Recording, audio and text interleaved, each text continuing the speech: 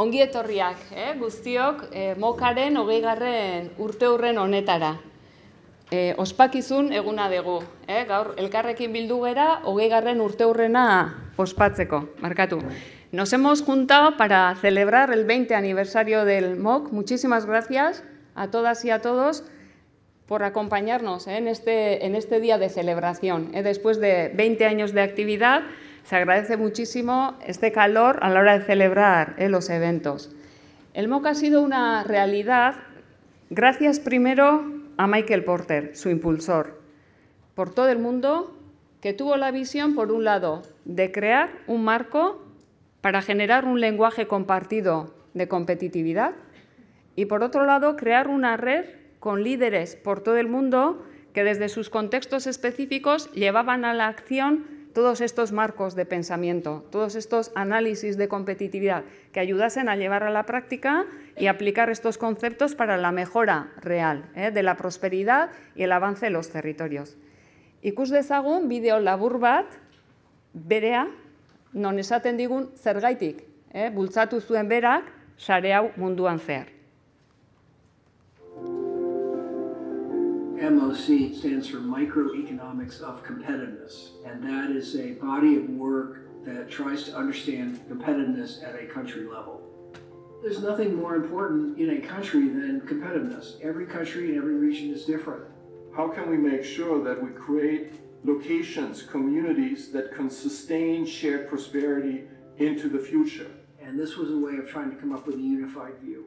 We started this course here at HBS and we wanted to uh, open it up to other partners because the more countries are doing this work, the more data we'll get, the more we'll learn, and the better this body of work will turn out to be. This has been taught in many universities around the world, more than 120. More than 55,000 students have taken the MOC course. I mean, this is amazing.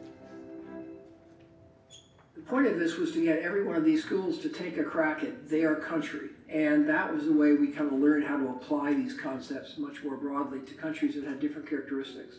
The MOC framework creates a common language. So once everybody understands the determinants of competitiveness, it's much, much easier to uh, develop a common agenda. It's not just us collaborating with the affiliates, it's the affiliates collaborating with each other and we tried to create this, this kind of culture of collaboration, which has been very strong throughout the whole thing. These people are also change makers. We've seen so many of them launch initiatives in their countries, in their regions, in their clusters. Many of them have become the kind of go-to people when uh, you want to talk about competitiveness. Right now, our, our main challenge is to just to, to take advantage of what we've built here and get as much knowledge as we can from the combination of all these affiliates so as we look forward now at this important milestones, you know, I think we have to realize that the future is open. It's for us to shape it. We need to make sure that we apply our ideas, our way of looking at reality to the new challenges that we're facing, from climate change to geopolitical tensions to inequality, new technologies, and so on. We've really become a bigger family uh, of people, and I'm looking forward to kind of bringing in also the next generation of colleagues to kind of lead the flag on uh, towards the next 20 years we hope we can keep progressing and we hope that other schools will take this as a really a, an opportunity to, to broaden their definition of what their university is like. They just don't do things for themselves in their own hometown with their own students. It's, it's about raising the body of knowledge in the world. It's what academia can do when it's at its best.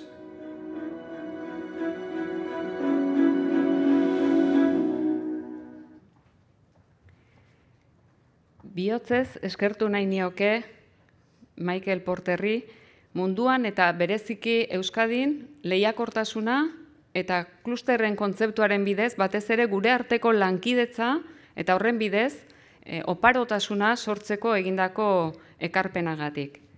Le quiero mostrar un profundo agradecimiento y mandarle un fuerte abrazo en estos momentos en los que está muy delicado de salud por su contribución al impulso de la competitividad a través de clústeres en el mundo y muy especialmente en Euskadi.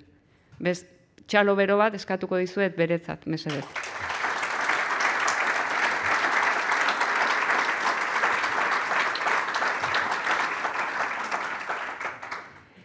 Pero el MOC y posteriormente Orquestra no hubiera sido posible no hubiera sido una realidad en Euskadi sin el impulso de otras personas más cercanas que con su esfuerzo y trabajo aterrizaron estas ideas aquí. John Azúa, Milla Esker John, por haber creído profundamente en el impulso de la competitividad mediante la clusterización y por tu persistencia en su impulso en Euskadi.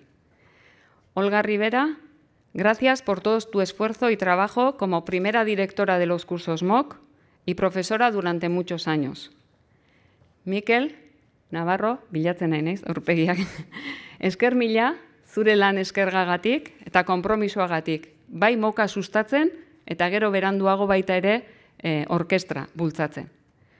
José Luis Larrea, gracias por tu generosidad y compromiso en la creación de orquestra y por tu visión del valor de la investigación para transformar los territorios y generar prosperidad.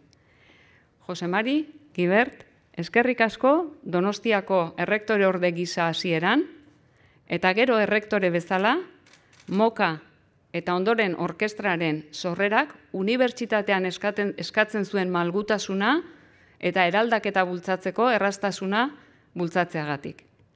Eta Victor Urzelai, esteko dekano bezala, hasieran, mok ikastaroak bultzatzeko, haiek erakusteko ateak irekitzeagatik, eta orkestra sortzean, esteko irakasle talde bat, bertara bidaratzeko izandako eskuzabultasunagatik. Mila esker, bihotz bihotzez, sei hoi. Eta orain beste txalo bero bat, eskatuko zu.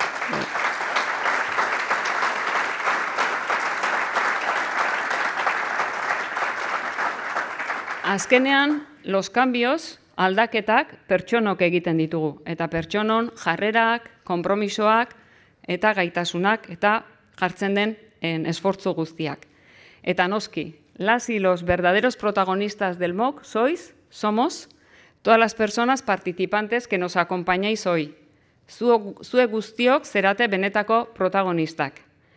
En todas las evaluaciones que hacíamos, me acuerdo, cuando terminábamos los cursos MOOC, después de cada final, al final de cada edición, destacabais como dos valores fundamentales, entre otros, sobre eh, los cursos MOOC.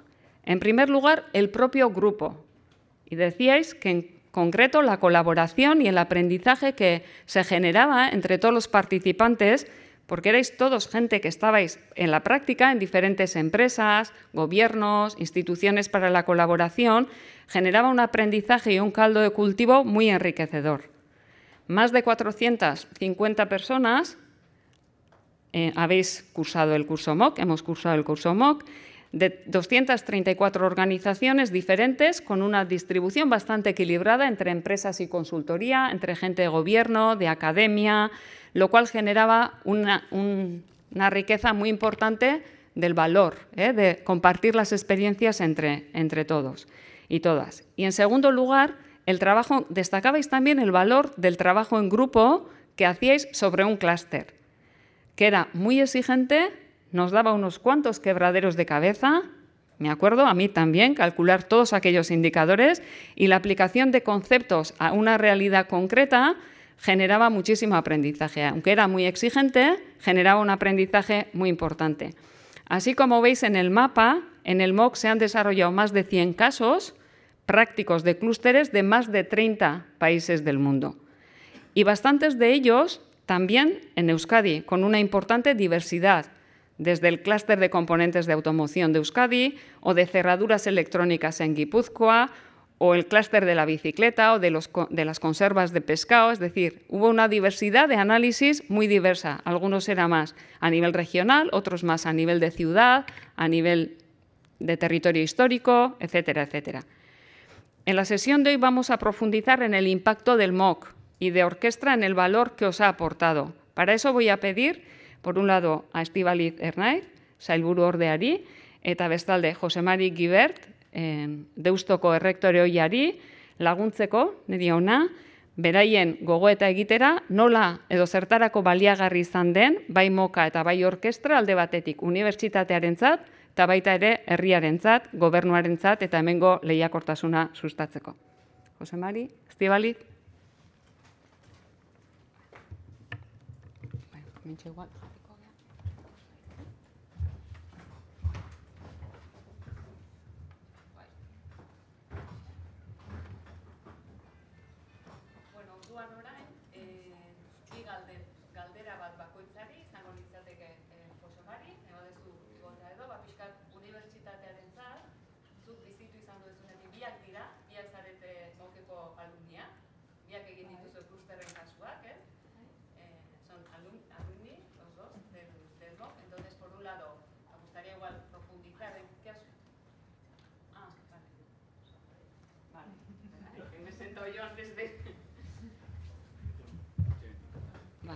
perdón. No, decía que, en, bueno, por un lado, ¿eh? me gustaría pedirle a José Mari Guibert una reflexión un poco de cómo ¿no? ayuda al MOOC, orquestra, para qué ha sido, qué valor ha aportado también a la universidad y después a, a Estivaliz, una reflexión de, de para qué nos ha servido también como territorio en Euskadi para el impulso de la competitividad. José Mari, zurea da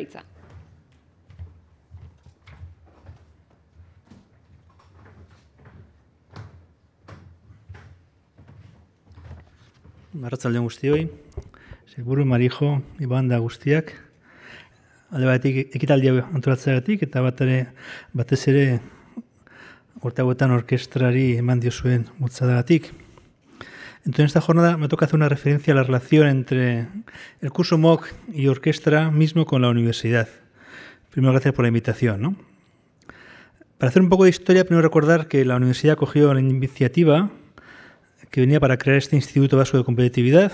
Sus fines son, eran generar información para políticas relacionadas con la competitividad y la economía, sobre todo regional, y encaja en el servicio que también de esto quiere hacer en nuestro entorno. ¿no? En aquel tiempo yo, José Luis, estabais detrás de la iniciativa y un trabajo ímprobo previo a empezar lo hicisteis. Creo que tardó dos años previos la preparación, o sea, no comenzó como una idea feliz sin más, vino como una idea preparada, muy hablada con agentes públicos, con empresas. Hemos a veces usado una expresión que en castellano no sé si se puede aplicar a orquestra. Se dice nacer con un pan bajo el brazo. Esto hace alusión al, a un hecho afortunado que tras el nacimiento de un bebé, o la suerte que tiene el bebé durante su niñez o su vida adulta, ¿no? Viene con un pan bajo el brazo. Un nacimiento de orquestra hubo algo en nacer con un pan bajo el brazo, pero con un matiz de suerte, nada. Aquí mucho trabajo por vuestra parte, trabajo y trabajo. José Luis y Johnny, no sé si los estáis también aquí metidos antes, de agradecer, ¿no? Me acuerdo ahí en, en Boston, el peño que fui también, pues que yo me contaba entre hijos de cómo, cómo se gestó todo esto, ¿no? También de esto el apoyo de la Facultad de Ciencias Empresariales fue también importante. El decano Víctor Urcelay pensó también cómo apoyar. Ahí estabais también Miquel, Ola, también, la historia también está en vuestras vidas aquí. Y personas con alto perfil de investigación pasaron laboralmente de la facultad a este nuevo centro. Es algo complejo, pero la facultad apostó por el Instituto de Competitividad. El campus cedió un edificio. Yo estaba entonces de vicerrector de Deusto en este campus. Se cedió un edificio en el que está actualmente. Y el propio instituto hizo el primer año muchas reformas importantes para modernizar el edificio. Así empezó con personas, recursos, ideas y socios. Entonces, el impacto en Deusto creo que tiene una dimensión al menos doble. Por un lado, genera investigación de calidad, por otro supuesto, relación especializada con la sociedad. Aquí estáis muchos, ¿no? Decir que ha generado investigación es importante por varias razones. Una, por la, cantidad de investigación, como que los investigadores de la Este Orquestra generaban investigación. Y se puede recordar un dato puntual positivo. Para tener un programa de investigación de doctorado, para un programa de doctorado hace falta investigación un mínimo al menos, ¿no? Para tener un doctorado hace falta un mínimo. Entonces, DBS de Business School tuvo doctorado en empresariales por el nivel de investigación que había en la Este en orquestra. Los vecinos de Bilbao investigaban menos, ¿no? Y gracias a lo que se hace aquí, y más aún, ICA de Madrid tampoco tenía suficiente nivel de investigación. Se sumó a Deusto para tener un doctorado. Doctorado compartido, comillas, Deusto, gracias a la investigación de Deusto, gracias a la investigación de orquestra y la Este. Bien. Ahora tuvo una mejora en investigación, pero en los comienzos, como yo claramente, tuvo una, influencia fuerte. ¿no? Eso en cuanto a cantidad. En cuanto a calidad, también reconocer que la orquestra ha dado pasos importantes en un modo de investigar, investigación transformadora. Antes decíamos investigación unida a la acción, unida a los agentes locales, es decir, menos investigación alejada de la realidad o solo teórica. En esto se ha promovido estos años enfoque de buscar una investigación con impacto, sin impacto social, o como se quiera llamar, transformadora, pero más allá del académico, más allá de solamente publicar y que te citen. En esto Orquestra ha sido un apoyo importante. No solo Orquestra, pero claramente Orquestra ha tenido aquí ideas buenas. ¿no? Es importante porque estamos en un mundo en el que se prima la investigación no necesariamente pegada a la realidad, sino que puede ser perfectamente quedarse en conceptos y cifras. Investigar en contacto con los agentes es importante y puede costar a los investigadores acercarse a, agentes. Y lamentablemente la universidad en general es una entidad que se regula por un tipo de indicadores de éxito que no miden el impacto social económico. Miden principalmente el impacto académico, si te publican, si te citan, no si transformas el mundo. O sea, estar con vosotros, con ustedes hoy sería una pérdida de tiempo, porque eso no se mide en los indicadores de la mayoría de las investigaciones. Así está el sistema general. Bueno, lo que vamos a trabajar aquí hoy, que estáis aquí, como digo, eso no es premio por la agencia de calidad y por los gobiernos que financian la investigación. No se tiene en cuenta, se dado algunos pasos, pero el reto es hacer lo más posible, ¿no? Nosotros hemos crecido en Deusto en investigación en cuanto a cantidad también. Según Iker en 10 años el Sistema Vasco de Ciencia, Tecnología e Innovación ha doblado en producción científica, es decir, se investiga el doble que hace 10 años. En el caso de esto hemos cuadriplicado. Investigamos, publicamos cuatro veces más. Es una base de datos de investigación que recoge que en las memorias. ¿no? Ahora tenemos como, bueno, tienen, ahora el enfoque es el focalizar la investigación más que solamente investigar. ¿no? Y entonces, como digo, Orquesta es importante para esto en, la, en su investigación. ¿no? Y también en la relación con los agentes sociales, empresas. Orquesta ha interaccionado con muchos interlocutores las distintas administraciones que intervienen en el territorio, las empresas, son sujetos esenciales de la transformación competitiva permanente y los actores intermedios que operan en la sociedad civil. Esto es un valor para esto y para todos y cada vez estamos más, más, más redes. Luego también otro punto en lo que toca organización, Orquesta es un ejemplo muy bueno de entidad autónoma relacionada con agentes externos que va renovando su propia organización. Como se dice en el caso Orquestra, o sabéis, en Harvard Business School y en Harvard también en general se usa el método del caso para analizar una situación, pensar, aprender, más que teoría, conceptos fríos, es plantear una reflexión desde casos concretos bien planteados. El caso orquestra también existe, pidieron que se hiciera el caso orquestra, y ahí se destaca, comento una cuestión, se destaca, se destaca ahí cómo orquestra ha superado cambios en la dirección del centro, en el gobierno de Vitoria, en las diputaciones, cambios en Deusto, cambios de decano, cambios de vicerrector de campus y cambios de rector. Ahora estamos en un momento de cambio también, ¿no? una de las empresas que, han, ido apoyando y que apoyan. ¿no? O sea, que un centro persista ante un cambio es una buena noticia, es que tiene un proyecto definido, digamos, con personalidad y se adapta a las necesidades que surgen. ¿no? Bien.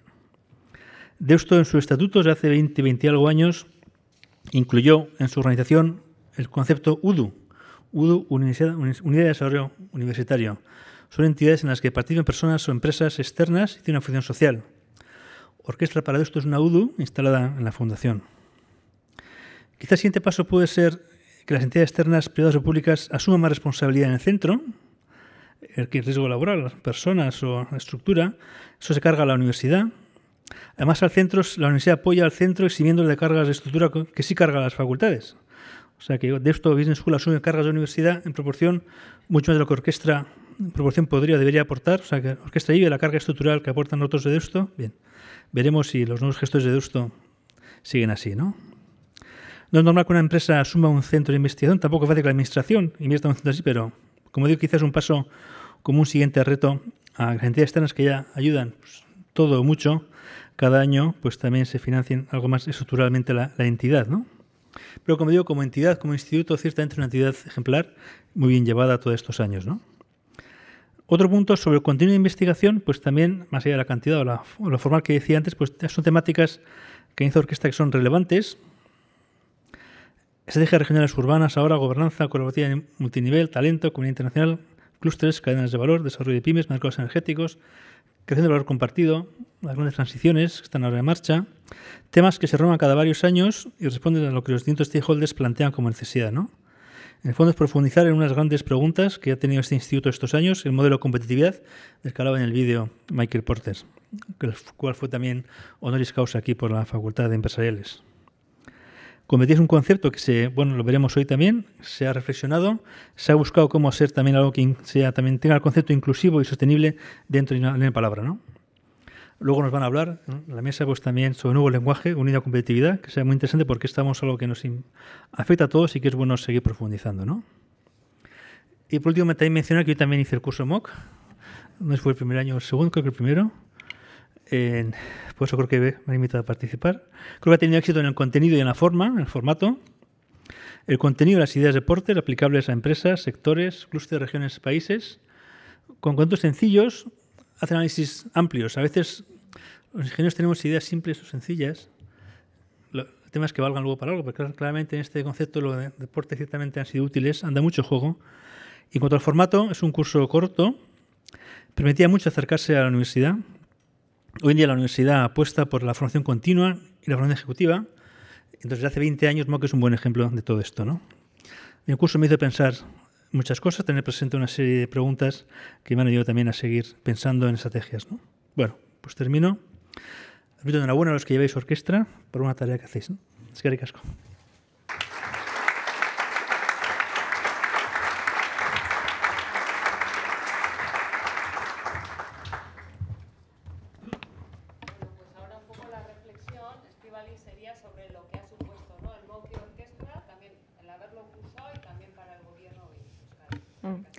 Oso Eh, eskerrik asko Marijo, Zailburu jauna, agintariak, lagunak, arratsaldeon guztioi.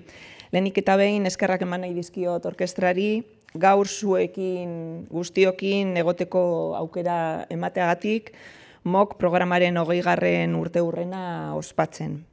Y hay una frase en euskera que dice, izan zirelako gara eta garelako izango dira. Hori dela eta uste dut, eh, gaur dala egun horietako bat nondik gatozen gogoratzeko. Eta aurreko mendera atzeratzen utziko didazue.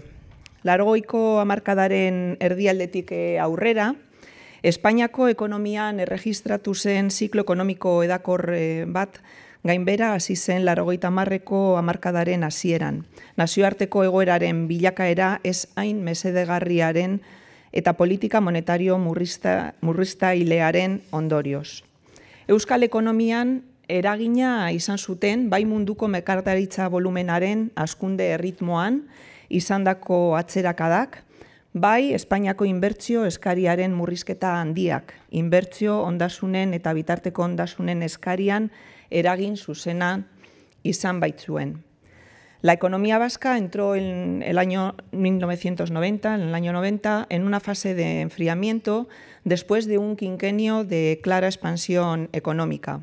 El comienzo de la década de los 90 vino marcado por otro acontecimiento económico de alcance europeo, como fue la entrada en vigor el 1 de enero del 93 del Tratado de Maastricht, que se materializó en la creación de un gran mercado único europeo y en la supresión de las fronteras interiores, de modo que tanto las personas, los bienes y los capitales podrían circular libremente en el espacio común europeo. Y de esto se acordarán mejor que yo eh, los aquí presentes, John, José Luis.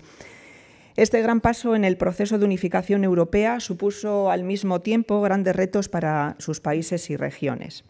Para el País Vasco, uno de los retos más importantes fue el crear una economía competitiva capaz de competir en los países y con los países y regiones más desarrollados de Europa, de modo que ello redundara positivamente en el bienestar del conjunto de la sociedad. No llegar a tiempo a este tren de la competitividad podría suponer la pérdida de importantes oportunidades de crecimiento. La situación descrita obligó a buscar salidas que permitiesen un mantenimiento del crecimiento económico y del empleo. Teniendo presente esta realidad, el Gobierno vasco, la Diputación Foral de Vizcaya y la Sociedad Promotora Bilbao Plaza Financiera impulsaron en el año 90 la realización de un estudio con el fin de analizar la posición competitiva del País Vasco en el contexto internacional que permitiera identificar los aspectos prioritarios, a desarrollar. Y este estudio tuvo como objeto la identificación de los factores de competitividad del País Vasco con respecto a su entorno. Este estudio se basó en la investigación realizada por el por todos y todas conocido profesor Michael Porter sobre la ventaja competitiva de las naciones. Porter y su equipo, en colaboración con profesionales del sector privado y de las administraciones públicas, identificaron varios principios fundamentales que resultaron ser una guía útil sobre los tipos de medidas necesarias que habría que tomar para mejorar los niveles de competitividad del País Vasco y diseñaron, la metodología de trabajo a seguir, esa metodología compartida que comentaba Marijo. Es así como el concepto de competitividad se convirtió en uno de los pilares que en el futuro han marcado las líneas de acción de la política industrial del País Vasco y que se ha entendido como la promoción de los siguientes aspectos. Sofisticación tecnológica, elevados estándares educativos, alto grado de competencia entre competidores locales, base de consumidores locales sofisticados y potentes proveedores locales. Con este trabajo realizado, el País Vasco se convirtió en uno de los primeros lugares del mundo donde se realizó un ejercicio de identificación y aplicación de la política clúster como refuerzo a la mejora competitiva natural de los clústers. Arrezkero, lehiakortasuna bultzatzeko politika hori mantendu eginda eta gaur egun arte evoluzionatzen joan da. Puntu honetan, bi elementu aipagarri aipatu behar dira. Alde batetik, 2002 urteaz gerostik, Macroeconomics of Competitiveness MOC ikastaroak ematea. Horietan, eskualdeko ekonomian ardura duten bosteun pertsona baino gehiagok parte hartu dute, eta horien artean ni sartzen naz. Ikastaro horien hogei garren urte hurrena gaur ospatzen dugu hemen. Moka lehiakortasunaren ikuspegi oro hartzaile bat ematera bideratutako ikastaroa da. Parte hartze, hartzailei gaitasun teknikoa eta lantresnak ematea enpresen, klasterren eta lurralden lehiakortasuna aztertzeko eta eraldatzeko. Harvard Unibertsitateko Michael Porterrek zuzentzen zuen Instituto for Strategy and Competitiveness erakundeak diseinatu zeuen. Eta bost kontinentetako izen handiko nazioarteko eun bat zentro ospetsutan ematen da zarean. Bertan, parte hartzaileek metodologia, prozesuak eta materialak partekatzen dituzte. Por, por un lado, decía como elemento el, el programa MOC, Y por otra parte, la puesta en marcha del Instituto Vasco de Competitividad Orquestra en 2006 como una unidad de desarrollo universitario, como decía el rector, dependiente de la Fundación Deusto, convirtiéndose en un centro de referencia en el ámbito de la investigación y análisis de la competitividad territorial, fusionando investigación académica, enseñanza e interacción con los agentes del territorio. Orquestra, agente perteneciente a la Red Vasca de Ciencia, Tecnología e Innovación, impulsa una investigación transformadora. Este tipo de investigación se define por el análisis, la reflexión, la evaluación y la propuesta de acciones de manera permanente, orientadas a aportar respuestas innovadoras para la resolución de los retos planteados, a la vez que se adquiere conocimiento investigador. Su actividad fundamental es el estudio de la competitividad y el desarrollo territorial con tres objetivos. Contribuir a la mejora de la competitividad del País Vasco. En segundo lugar, propiciar la mejora del bienestar de los y las ciudadanas. Generar conocimiento en competitividad regional. Objetivos muy alineados con la acción del Departamento de Desarrollo Económico, Sostenibilidad y Medio Ambiente del Gobierno vasco y con el Gobierno vasco en su conjunto, al que represento hoy aquí, ya que si no nos queremos quedar atrás como país en el ámbito de la competitividad, Euskadi necesita generar conocimiento, desarrollarlo y posteriormente transferirlo a las instituciones públicas, sí, pero sobre todo también al tejido empresarial permitiendo así la emergencia de innovaciones disruptivas. Y me gustaría terminar recordando unas palabras del culpable, entre comillas, de que hoy estemos aquí, de Michael Porter, en el décimo aniversario de Orquestra. Afirmó, Euskadi es un modelo internacional en el desarrollo de la política de clústeres. Y para dar mayor fuerza a este proceso, la creación de Orquestra ha supuesto el desarrollo de uno de los principales think tanks del mundo en impulso de clústeres y competitividad. No sabéis cuánta influencia tenéis en esta región relativamente pequeña donde vivís. Orquestra ha sido fundamental en ese proceso. Hoy en día, la influencia de Orquestra y su investigación traspasan las fronteras del País Vasco. Ha llegado a ser un líder en Europa y es muy influyente en el diseño de políticas a nivel europeo y mundial. Eta inigo urkuiu lendakariaren hitzetan, orkestra ereduzko ekimena da diagnostiko partekatuaren, herri estrategiaren eta lankidetza publiko-pribatuaren ikuspegitik. Beraz, bide horretatik jarraitu eta eskerrik asko orain arte egindako lanagatik.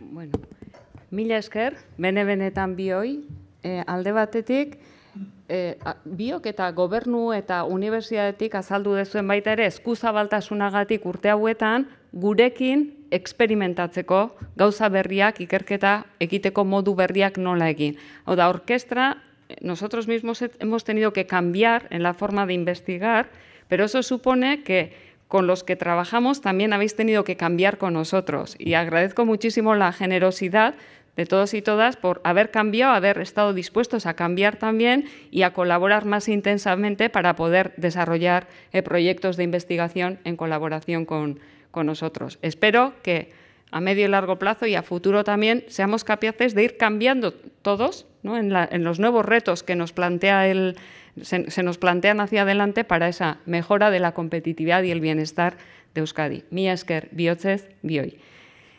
Eta ondoren e, daukagu e, gaurko programan beste hiru zatitxo. Bada en lehenari begira, da, una mirada al pasado, una mesa redonda moderada por José Luis Larrea, para ver cómo nos ha afectado con diferentes voces el MOCI Orquestra en el desarrollo del territorio. A continuación, una mirada al futuro con una presentación de James sobre cómo estamos redefiniendo, cómo hemos definido un nuevo marco de competitividad para el bienestar y cómo estamos utilizando este marco también haciendo evolucionar los marcos desarrollados hasta ahora en colaboración con vosotros. Y a continuación una mesa eh, moderada por, por Miquel sobre el futuro, cómo está nos está sirviendo también con diferentes voces y se está utilizando este marco que nos ayude también en la acción y en la práctica y luego ya el cierre por parte del, de nuestro presidente Iván Marten. ¿eh? Esta es el, la estructura de la sesión. Aurrera, José Luis, Mayan, eta mi esker, bioi.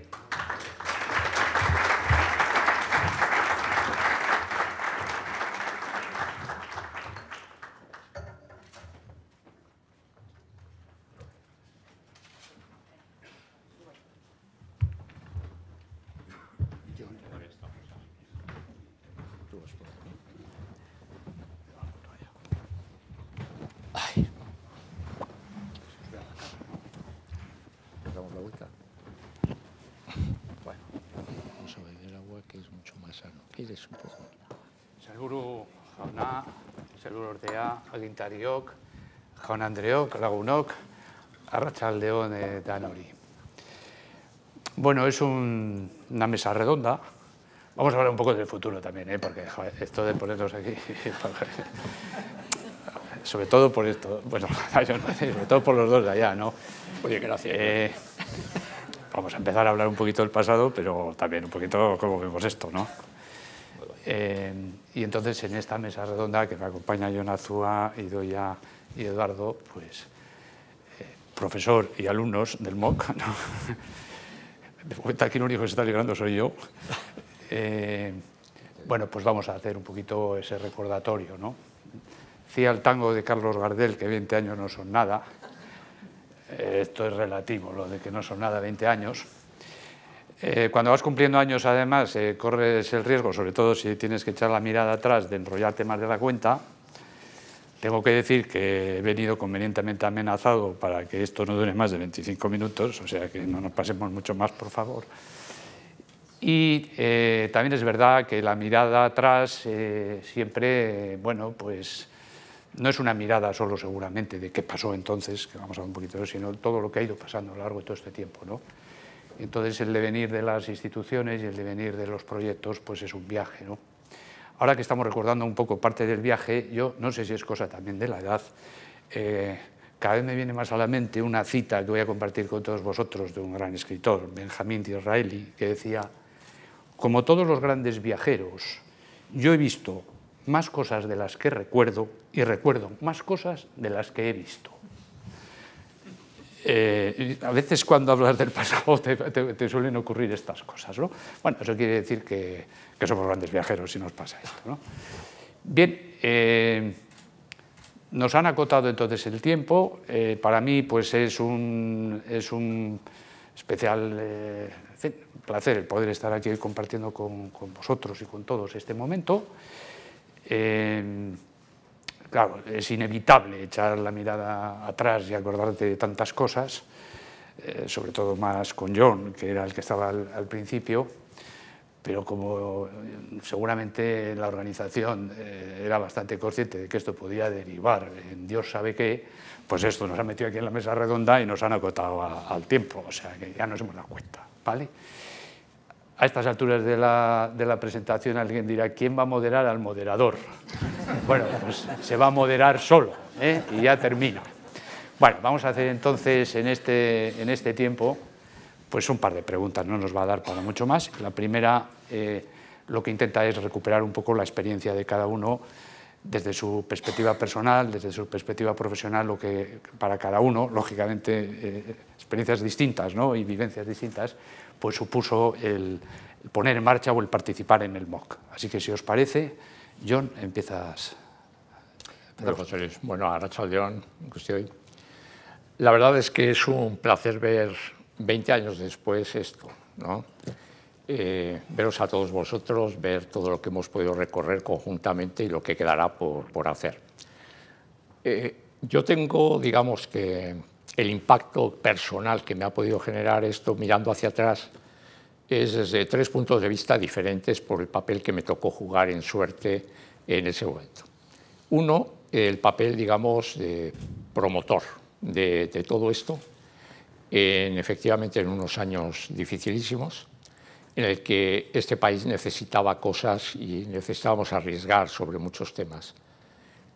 Eh, yo tuve la enorme suerte que desde el propio gobierno en los primeros años en los que yo estuve, en los que hubo que tratar de salvar el país, lo poco que había o lo mucho que había, eh, llegó un momento en que eh, se dijo, bueno, hemos hecho tapar huecos, hacer cosas, pero necesitamos una estrategia de futuro completa para todo el país y nos pusimos a buscar a alguien que nos pudiera ayudar. Y dimos mil vueltas por ahí y uno de ellos fue Michael Porter sin conocerle, sin conocerle a través de sus libros o sus cursos de estrategia empresarial. A mí me, recibió en Harvard, me dio una hora de su tiempo extraordinaria, en la que yo le conté y le pedí lo que queríamos y lógicamente a él no le interesó absolutamente nada. Me dijo que él no se dedicaba a eso, segundo que no sabía qué era el País Vasco ni dónde estaba y que tenía muchas otras cosas que hacer. Pero sí me dijo que en ese momento, además, una de sus áreas de responsabilidad, en ese momento estaba trabajando en lo que más tarde sería el libro de la ventaja competitiva de las naciones. Y entonces fue cuando a mí me enganchó mucho más, porque era precisamente lo que podía encajar a nosotros. Desde esa conversación hasta que pudimos conseguir que él pudiera trabajar aquí, pasaron más de tres años dando vueltas, intentando todo tipo de cosas, hasta que finalmente aceptó desde Bilbao. Yo ya había dejado el gobierno, estaba en Bilbao Plaza Financiera y el gobierno de aquella época, el Partido Socialista, se había hecho con industria en esos cambios que preguntaba que comentaba, y ellos no creían en el modelo de Porter, no creían en el libro de la ventaja competitiva y no querían abordar el modelo que se había diseñado para ir adelante con este tema. Y entonces, desde Bilbao Plaza Financiera y la Bolsa de Bilbao, nos inventamos que lógicamente una bolsa solo tenía sentido si encajaba con el tejido social y económico del país y necesitábamos un trabajo, un estudio de la ventaja competitiva de las naciones. Conseguimos el apoyo de los miembros de la Bolsa, conseguimos el apoyo financiero y una parte de Gobierno y Diputación de Vizcaya y contratamos el proyecto con Michael Porter y con la consultora Monitor que él sugirió para poder hacer, que después cada clúster fue hecho de la mano de, un, de una consultora diferente. Y finalmente se pudo aplicar mucho más tarde. A partir de ahí, tres experiencias. La de la promoción, que fue muy complicada, pero fue tremendamente enriquecedora por la oportunidad y el contacto con Porter, el lanzamiento de Porter del MOOC a nivel general en, esto, en Harvard, y la invitación que nos hizo a formar parte como una de las escuelas eh, piloto, de las seis inicialmente, ocho después, para poder iniciar el MOOC. Solo había que encontrar una universidad que te acogiera aquí, unos profesores que pudieran encargarse del curso, unos alumnos que pudieran asistir, una financiación para darlo y un programa. Os juro que recorrí todas las universidades del país y a nadie le interesó. Ni la Deusto Business School, ni la Universidad del País Vasco, ni la Universidad de Mondragón y finalmente tuve una cierta acogida en la ESTE. y fue lo que finalmente posibilitó. Hubo que inventarse todo, hubo que inventarse los profesores, hubo que inventarse los alumnos, porque no se podían dar créditos en un programa de MBA que, era, que venía de fuera, que era para lo que había diseñado Porter este curso, para los estudiantes de MBA. Y entonces nos tuvimos que inventar los alumnos. Y gracias a eso fue el gran éxito, en mi opinión, de este programa. Fuisteis todos vosotros los distintos alumnos. Gente en el gobierno, gente en cargos de responsabilidad, gente en la universidad, gente en los centros tecnológicos, gente en las empresas con experiencia, lo que con un método del caso enriqueció una barbaridad el curso. Y esa es la segunda experiencia dentro del MOOC. Me tocó ser uno de los tres profesores que pusimos inicialmente en marcha ese curso, cuatro después, y el gran aprendizaje que el MOOC supone para un profesor aprender de los alumnos, aprender en cada caso, aprender todos los días. Y eso me lleva a la tercera, y con eso ya termino para que puedas moderar perfectamente. Y la tercera es el haber tenido la gran oportunidad y privilegio de formar parte de la red MOOC a nivel mundial con el Instituto de Estrategia y Competitividad de Harvard. El enriquecerte con esa gran cantidad de conocimiento, de talento, de transformaciones y de modelos tan dispares a lo largo de esas 130 universidades en el mundo, el tener la oportunidad de estar con Michael Porter una vez al año por lo menos, asistir a su workshop, ver en qué está trabajando, cómo ha ido evolucionando desde... y también lo que el propio Porter aprendió de nosotros en su modelo. Cuando vino a Euskadi por primera vez, su modelo, prácticamente por decirlo de una manera muy simple, despreciaba la inversión en políticas sociales. Era política económica lo que había que hacer y los resultados económicos posibilitarían, en su caso, reinvertir o distribuir en políticas sociales. Nosotros desde el primer momento planteamos, no por el MOC, sino por la política de este país, por la estrategia de este país, el buscar estrategias y resultados en política económica y social a la vez. Eso, después de pasar de ser un impuesto, lo que consideraba él la salud laboral, la formación interna de la empresa, el medio ambiente, etcétera, pasó a ser los elementos esenciales que explican las empresas de éxito. Todo ese aprendizaje durante todo este tiempo y esa suerte de estar 20 años compartiendo con el mundo, con distintas instituciones, han sido tres experiencias que a mí me han permitido aprender todos los días, avanzar y aplicar una barbaridad de conocimiento y de oportunidades en diferentes industrias, en diferentes actividades públicas, privadas, etcétera, que no tiene precio. Y eso ha sido mis tres, por llamarlo de alguna manera, experiencias o aportaciones que yo he recibido. No sé lo que yo habré dado, pero lo que he recibido, desde luego, ha sido muchísimo. Muy bien, pues ahora te van a decir porque les darías clases a estos dos, ¿no? O sea, a lo que, a que recibieron, ¿no? Pero, a ver, Idoya, ¿qué ha visto visión? Pero aprendieron mucho más. Yo Efectivamente, el diploma final con la foto de John entregándonos en, en el año 2009. Entonces, ¿no? ¿eh? Más fea la foto de la no, mía. Digo. que va, nos lo bueno. tenemos muy bien, bueno, ambos. Venga, Idoya, ¿cuál es tu experiencia? Bueno, ¿Qué, mi, qué sí, yo lo que quería trasladaros era un poco mi experiencia personal, ¿no? Eh, bueno, nuestro día a día, o por lo menos mi día a día, no me permite muchas veces reflexionar sobre el pasado y sobre el futuro, ¿no? Y precisamente un poco para preparar la, presentación de aquí, ¿no? he visto que el MOOC pues, fue un punto de inflexión en mi carrera, ¿no? Eh, yo soy de formación eminentemente técnica, ingeniería de telecomunicaciones, ya sabéis, cabeza cuadrada, etcétera, ¿no? Y me incorporé en Euskaltel al principio del proyecto, es decir, hace 25 años, ¿no? que, también estoy de aniversario este año. Entonces, eh, desarrollé una, labor técnica al principio, ¿no? Eh, pues, como ingeniera, después pasé a puestos de gestión dentro del área técnica, como responsable de operación y mantenimiento, directora de ingeniería, y en el año 2009 ¿no? me apunté al curso MOOC. Y realmente un poco en el año 2010 pasé del área más técnica en el que había estado hasta entonces a la unidad de negocio pues para intentar efectivamente afrontar con éxito un nuevo ciclo en el que nos encontrábamos en Euskaltel a nivel estratégico, donde ya habíamos desarrollado pues, todos los proyectos y servicios de telecomunicaciones, éramos líder en el mercado, ¿no? Y necesitamos encontrar nuevos productos, servicios, seguir creciendo en el mercado. ¿no? Entonces, pasaba a ser importante eh, bueno, otro tipo de, competencias, eh, hacerlo en, conjunción con otras empresas y con nuestro entorno, ¿no?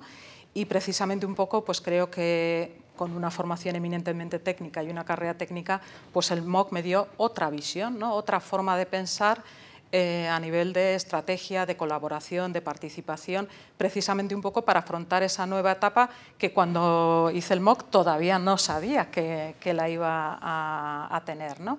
Con lo cual yo creo que, que bueno, me permitió eso, ayudar a pensar de forma diferente y basándome en, el conocimiento técnico, ¿no? porque hay cosas que ya sabéis que nunca se pierden, ¿no? pero sí cómo intentar ver cómo eh, llevar a cabo eh, estas iniciativas en el mercado, etcétera, etcétera. Entonces, como consecuencia un poco de ello, realmente yo creo que sí hicimos cosas muy interesantes en cuanto a lanzamiento de servicios cloud para el mercado de empresas, todo lo que entonces se llamaba también machine to machine o que acabó derivando en el Internet of Things y todas las cosas que están conectadas como tal, ¿no? Que bueno, muchas veces partiendo también de proyectos de I más de más I, pues financiados por los distintos programas ¿no? del gobierno vasco, etcétera, nos permitían un poco también hacer pruebas de concepto y trabajarlo pues, en colaboración con otros agentes eh, pues para, para, poder lanzarlos. Entonces, yo creo que guardo muy buen, muy buen recuerdo del, del curso, de Olga, de Miquel, del resto de alumnos, que no sé si por aquí he visto algunos, seguro que sí.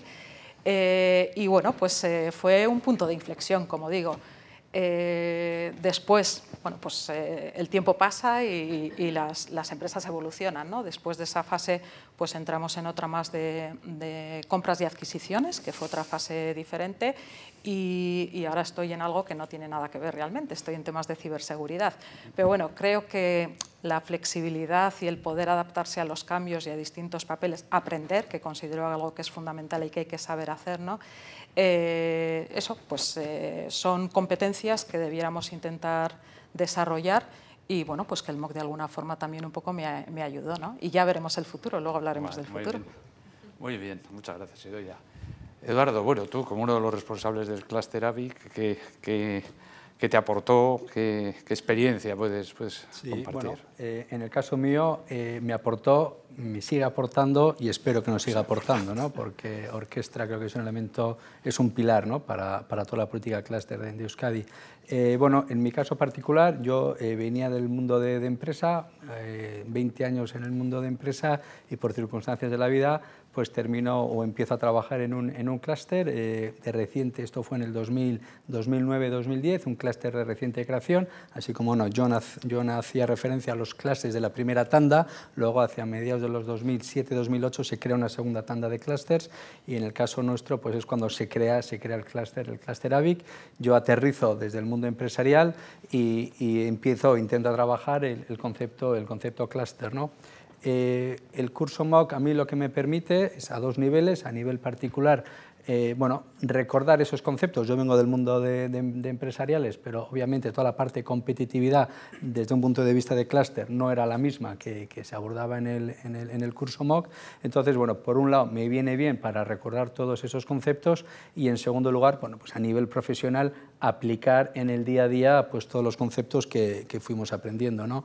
Eh, sobre todo lo que nos permite es crear un lenguaje común con las empresas. ¿no? Muchos de vosotros que estáis aquí, cuando hablamos de capital social, cuando hablamos de costes de transacción, cuando hablamos de competencia, bueno, todo eso es un lenguaje común, un lenguaje compartido eh, que nos pone a todos eh, en, un mismo, en un mismo paradigma. Y eso, desde en nuestro caso particular, lo que hemos hecho ha sido aplicarlo en el día a día a las empresas. ¿no? El MOOC se centraba, o el curso MOOC se centraba en las pymes, nuestro clúster y, principalmente las empresas del País Vasco están centradas en PYME, el foco se pone en la, en la PYME, en las estrategias, en el desarrollo empresarial de esas, eh, de esas, de esas pymes y toda esa aplicación en el día a día eh, es la que, la que nos ha puesto, lo que nos ha permitido bueno, lo vamos, hay que ser, hay que ser honesto, ¿no? Eh, poner el clúster en una órbita eh, a nivel internacional. ¿no? Ha sentado unas bases, nos ha permitido crear un lenguaje común, un lenguaje sectorial y, lo que no, y la experiencia lo que, nos, eh, lo que nos está indicando es que Orquestra nos sigue, de, sigue siendo un referente para que cada vez nosotros queramos ver al futuro o qué nuevas iniciativas o qué nuevos proyectos queramos poner en marcha, pues seguimos mirando de reojo por dónde va, por dónde va Orquestra. Temas de, ha comentado eh, John Azúa brevemente, ¿no? temas de medio ambiente, temas de digitalización, eh, temas sociales, todos esos temas que ya desde el MOC se, estaban ya abordando desde hace ya 10 o 15 años, son ahora, ¿no? cuando se empieza a hablar ¿no? de la competitividad sostenible de las empresas. ¿no? Bueno, pues esos conceptos ya los trabajábamos nosotros desde hace ya 6, 7 o hace 8 años con las empresas, ¿no? y es ahora cuando se están poniendo en valor. ¿no? Entonces, yo entiendo que, todo ese aprendizaje que hemos tenido durante, durante, bueno, durante el curso MOOC, pero insisto, eh, día a día, luego posteriormente en nuestra relación con orquesta, ¿no? pues con James, con Marijose y con todo el equipo, es lo que nos está permitiendo trasladar a las pymes, a nuestras empresas, ese, esa experiencia, ese lenguaje y, bueno, y, poder ser un sector, pues, pues, bueno, pues creo que con un enfoque muy internacional y con un enfoque muy competitivo. ¿no? Entonces, eh, eh, felicidades a Orquestra, al curso MOOC y, esperamos seguir disfrutando también de orquesta muchos años más. ¿no?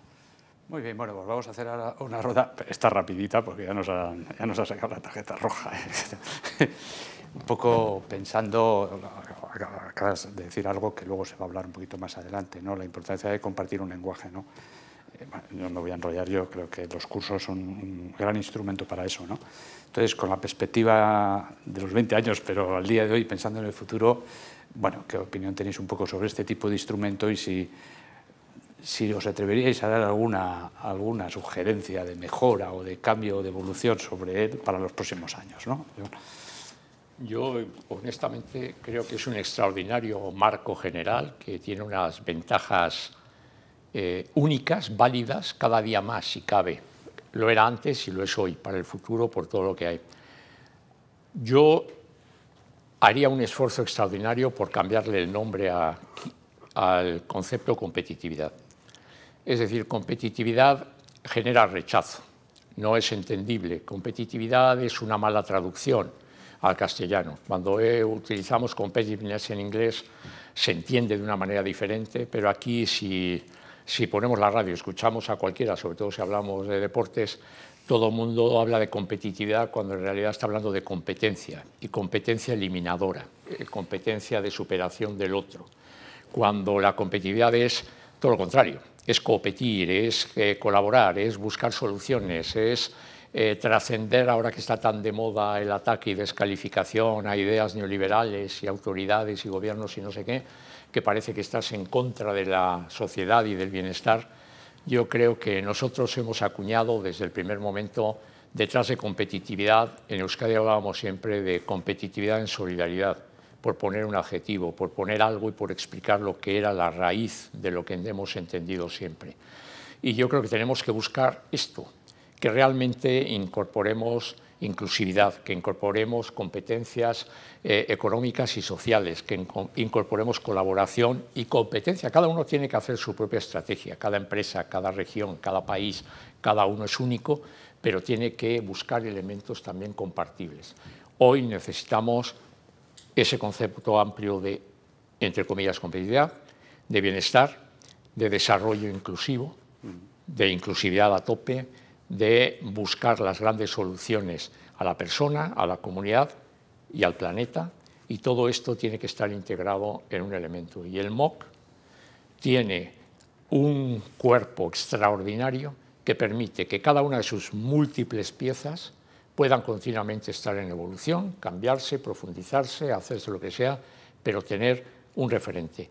Y es muy importante tener un cierto marco que aglutine, que haga que la gente tenga. Hoy en día, en Euskadi, tenemos la suerte, con la gente que ha pasado por el MOOC y por todo el programa, entre otras cosas, que tenemos un lenguaje común, pero que además te puedes eh, enfrentar en cinco minutos, no voy a exagerar, pero bueno, en poco tiempo a entender tu empresa, a entender tu industria, a entender tu mundo, a entender las posibilidades que tienes y puedes situarte. Dominamos o sabemos qué es un diamante de competitividad, sabemos lo que es una política económica y una política social, sabemos lo que es inclusividad y sabemos lo que es la estrategia compartida y co-creación de valor. Y todo eso es algo que no se puede perder, además de la colaboración público-privada, público-público y privada-privada. Y estas son esencias que muy pocos tienen y pocos incorporan su propio capital humano e institucional. Por tanto, ese sería mi, mi, apuesta por, por ese avance. ¿no? Muy bien. Yo, yo estoy de acuerdo totalmente. ah, yo añadiría simplemente que creo que sigue siendo válido, desde luego, y lo único sí creo que es muy importante la fase de implementación ¿no? de las políticas o de la estrategia, no solamente la definición de las ideas, y que hay los tiempos, yo creo que hoy demandan muchas veces más agilidad igual de lo que lo hemos tenido en el pasado. ¿no? Entonces, sí incorporaría algunos elementos de, prueba, de agilidad, etcétera, y creo que además es muy complementario con una visión que en las empresas privadas también cada vez es más importante, que es la tríada de ESG, ¿no? que es eh, medio ambiente, eh, temas sociedad ¿no? y governance. ¿no? Entonces yo creo que con políticas eh, públicas adecuadas, con un desarrollo sostenible de las propias empresas y ganando también en agilidad, creo que podemos hacer muchas cosas en el futuro juntos. Muchas gracias. Yo en mi caso, o en el caso nuestro, desde el punto de vista de clúster, nosotros estamos haciendo esa reflexión a nivel de clúster de cómo vamos a ser nosotros en los próximos 10 años. ¿no? Eh, el papel del clúster eh, ha evolucionado de una forma muy importante. Eh, hemos pasado de ser un agente estrictamente económico, empresarial, por decirlo de alguna manera, ¿no? hace 5, 6, 8 años, a convertirnos en un eje bueno, fundamental ¿no? de, de, todas las políticas de, a, nivel de, a nivel de Euskadi. ¿no? estamos siendo un agente transformador, un agente del cambio ¿no? para la parte medioambiental, para la parte de digitalización, para la parte social, para la parte de empleo, para la parte educativa. ¿no? Entonces, entendemos que si esa reflexión la estamos haciendo nosotros, eh, entiendo que orquesta tiene que ir de la mano y tiene que hacer esa, esa reflexión, muy en línea con lo que han comentado tanto John como, como, como Idoya. ¿no? Eh, la competitividad va más allá hoy en día de lo meramente, de lo meramente empresarial, ¿no? Eh, transciende a, a, los agentes económicos. ¿no? entendemos, yo entendería que el MOC debería ir hacia, abrirse hacia otros ámbitos de, de, la sociedad. ¿no? A lo mejor está muy encasillada en la parte de, de, empresariales, de Deusto Business School, y tiene que ir a conceptos más amplios, ¿no? más transversales, que abarque a diferentes ámbitos de, la sociedad, inclusive, inclusive social, de, civil, ¿no? de la sociedad civil, de muchos agentes eh, que forman parte del entorno, ¿no? la comunidad, la comunidad local, eh, la, el, el, entorno, y luego también eh, la parte de internacionalización. ¿no? Internacionalización no desde un punto de vista exportador, sino de redes. Eh, tanto los clústeres, estamos en redes internacionales, cada vez son más importantes las redes, pues entiendo que, también, bueno, pues el MOC también seguro que está en, redes, pero tiene que ir acompasado también, ¿no? O sea que yo entiendo que, insisto, ¿no? la parte de, transversalidad a todos los agentes, que, a, involucrar a todos los agentes que están en, en, diferentes ámbitos. Muy bien, bueno, pues hemos llegado, hemos pasado un poquito, pero bueno, gracias aquí a la colaboración. Eh, muchas gracias eh, por vuestras aportaciones. Eh, voy a compartir una reflexión corta y termino. ¿no? Es la primera vez que, lo hago, a ver cómo sale. Yo hace treinta y, treinta y tantos años tuve la oportunidad de viajar en el Concorde y allí me regalaron este portafolio. Eh, o uno lo quiere ver, aquí pone Concorde. Es un, es un recordatorio permanente a la fragilidad de los proyectos, de los grandes proyectos, de los que nos sentimos muy orgullosos después de 20 años, pero que no está nada nunca hecho, está todo por hacer. Entonces es muy importante que todos aquellos que hicisteis, hicimos posible que hoy estemos aquí, sigamos comprometidos y los que nos sigan para que dentro de 20 o 40 años no nos pase lo que al Concord. Muchas gracias.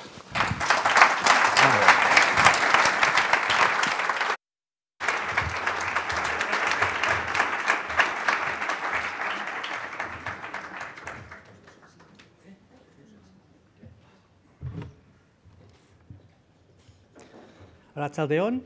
Uh, pues siguiendo el hilo de lo que el, anécdota de José Luis, um, hemos hablado bastante del pasado en esta primera parte del acto y ahora vamos a hacer un giro y, enfocarnos más en el futuro, porque como ha comentado José Luis, nada está, nunca hecho. Entonces tenemos que estar al tanto de, innovar, de experimentar. También los puntos de, todos los ponentes, los, últimos puntos nos, nos muestran de que tenemos que estar pensando sobre el futuro de la competitividad.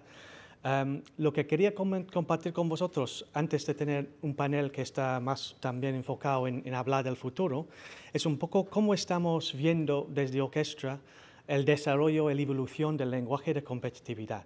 Uh, también, como ha comentado John justo ahora, es un lenguaje difícil. Vivimos, uh, bueno, yo vivo personalmente 15, 16 años en orquesta y peleando con este lenguaje, porque es un lenguaje que sí tiene cierto rechazo en ciertos ámbitos. Entonces hay que trabajar mucho de, de, de que el sentido de la competitividad, como sentimos nosotros, está, está bien comunicado.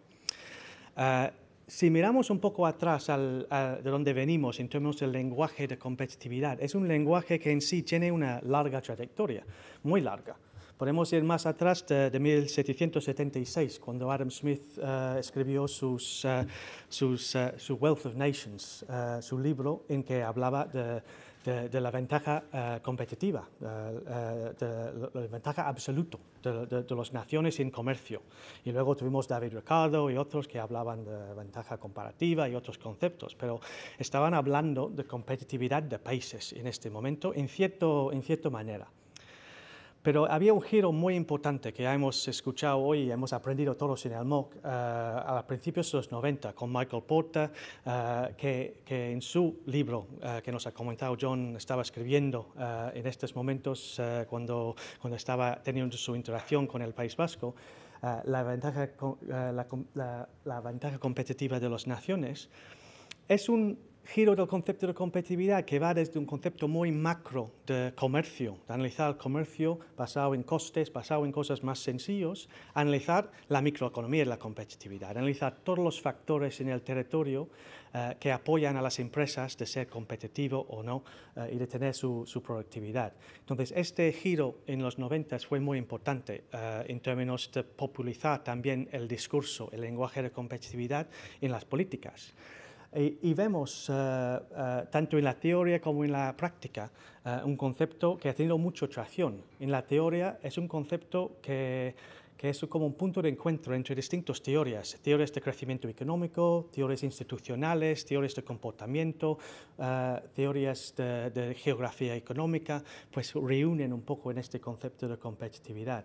Y con respecto a, a la práctica, es un lenguaje que resona bien Uh, con, uh, con, con, los políticos, con los policymakers, uh, en parte también porque ha surgido en un momento en que hemos experienciado una globalización muy fuerte, una globalización en que sí vemos la competitividad más cerca, vemos competidores, vemos la necesidad de mejorarnos para poder competir con otros de una forma positiva.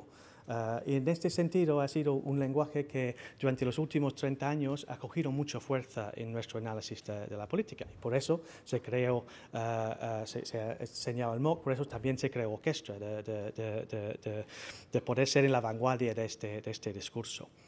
Y bueno, en el MOOC todos hemos aprendido marcos como esto, el marco diamante uh, de Porta, que es pues, quizás el marco fundamental que sostiene este, esta visión de la microeconomía de competitividad. Um, estos marcos nos ayudan mucho en diagnosticar Uh, y seguimos utilizando estos marcos mucho en nuestro día en día en orquesta para diagnosticar temas, uh, uh, problemáticas y, y, y, temas. Ahora justo estamos en procesos en que tenemos un taller el miércoles y que vamos a utilizar este marco otra vez con otro grupo de actores, el Diamante. Entonces es, es un marco muy útil. en orquesta, como muchos sabéis, también hemos utilizado otro marco, la de la, la derecha. Durante varios años, en siete informes de competitividad hemos utilizado este marco para diagnosticar nuestra competitividad en el país Vasco. Está muy basado en el marco uh, del diamante, pero tiene ciertos matices que representan más nuestro, nuestra realidad uh, aquí. Um, pero lo que hemos escuchado también en el último, en el último taller, uh, en el último uh, mesa redonda, es que estamos también ahora viviendo en el momento en que hay nuevas demandas. Uh, Estamos con, con, con, ciertas demandas de retos sociales importantes. Uh, vemos la urgencia de la transición verde, uh, la transición hacia competitividad sostenible. Vemos cambios demográficos muy profundos. Uh, vemos retos sociales distintos que están poniendo también una nueva presión en estos marcos de competitividad para entender la realidad y para también pensar en estrategias hacia el futuro. En ese sentido, uh, durante la pandemia, en 2020 más o menos, empezamos en Orquestra una reflexión profunda sobre pues, cómo podemos desde Orquestra avanzar nuestro conocimiento en este sentido, cómo podemos uh, ir más allá que los marcos que tenemos ahora. Y venía de dos, de dos um, preocupaciones. Por un lado, um, la idea de que uh, teníamos esta nueva direccionalidad de la competitividad. Tenemos que estar seguros que la competitividad que estábamos trabajando fue hacia la dirección que, que estamos buscando, que fue de, de, de, solucionar estos retos sociales, de tener, una, uh, de tener una competitividad verde, de tener un desarrollo económico uh, sostenible socialmente y medioambientalmente y los marcos que teníamos tenían muchos elementos para ayudar a esto, pero no siempre nos llevaban uh, a tener en el corazón del marco uh, este, esta direccionalidad. Entonces tuvimos una reflexión so, sobre esto. La otra reflexión importante fue relacionada con la propia misión de orquesta que Stiglitz ha, ha mencionado antes, que es de hacer análisis de la competitividad que apoya uh, al bienestar del País Vasco. Entonces teníamos que tener un marco y tener formas de reflexionar que estaban bien orientados hacia los retos que tenemos aquí en, en Euskadi y el bienestar de las personas aquí. Y con esto en mente, Uh, hicimos una profunda reflexión sobre distintas teorías. Uh, empezamos, por supuesto, con la teoría de competitividad, las teorías del crecimiento económico, el marco de competitividad de Porter, de otros que han, que, han, avanzado áreas ahí. También miremos um, algunas literatura, algunos escritores que han escrito sobre nuevas direcciones en análisis de competitividad, intentando girarlo hacia uh, conceptos de bienestar de distintas formas. También miramos los marcos que estaban desarrollando um, en el OECD, en el um, uh, gente como Stiglitz y otros sobre uh, uh, desarrollo sostenible y bienestar. A ver, pues, qué tener en cuenta en estos marcos. Y por último, también fuimos a, a, un poco el, el base de, de, de, de, investigación que ha marcado el desarrollo de orquesta en los últimos años sobre el enfoque sistémico de innovación, sistemas de innovación, estrategias territoriales, que también tienen mucha relación con el marco MOC, el marco de POTA, este reflexión estratégico.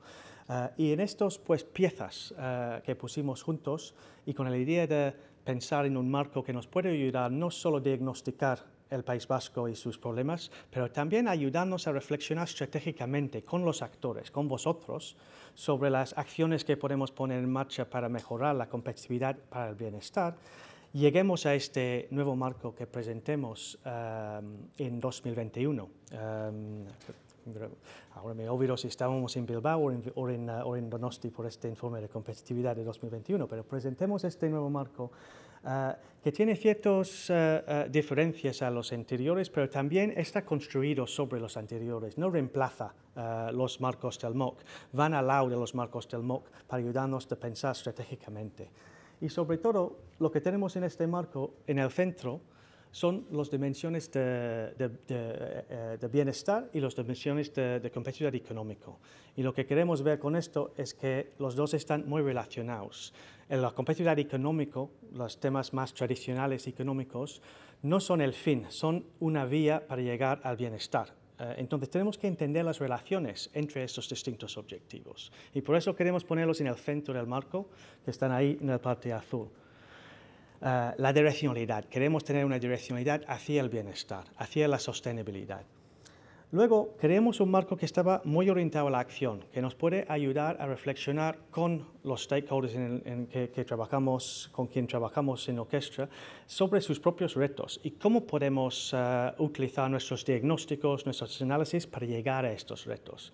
Y por eso decidimos poner, sí, en el medio los objetivos donde queremos llegar, pero tenemos que también separar nuestro propio contexto, la parte que no podemos cambiar fácilmente, eh, la parte de nuestra geografía, de nuestra población, de nuestra estructura económica, de nuestras instituciones, de la parte eh, verde a la derecha, la parte donde sí podemos tener incidencia, que podemos actuar, las palancas dinámicas de competitividad, los distintos capitales que podemos invertir, que podemos cambiar nuestro comportamiento. Entonces es un marco que por un lado, otro lado también está orientado a la, acción. Identifiquemos también dos elementos que son muy transversales y no son fáciles de poner en una caja a otro. Por un lado, la, inclusividad. Eh, la inclusividad, la competitividad, como ha comentado John, competitividad y solidaridad es una cosa intrínseco de lo que como vemos en el País Vasco competitividad.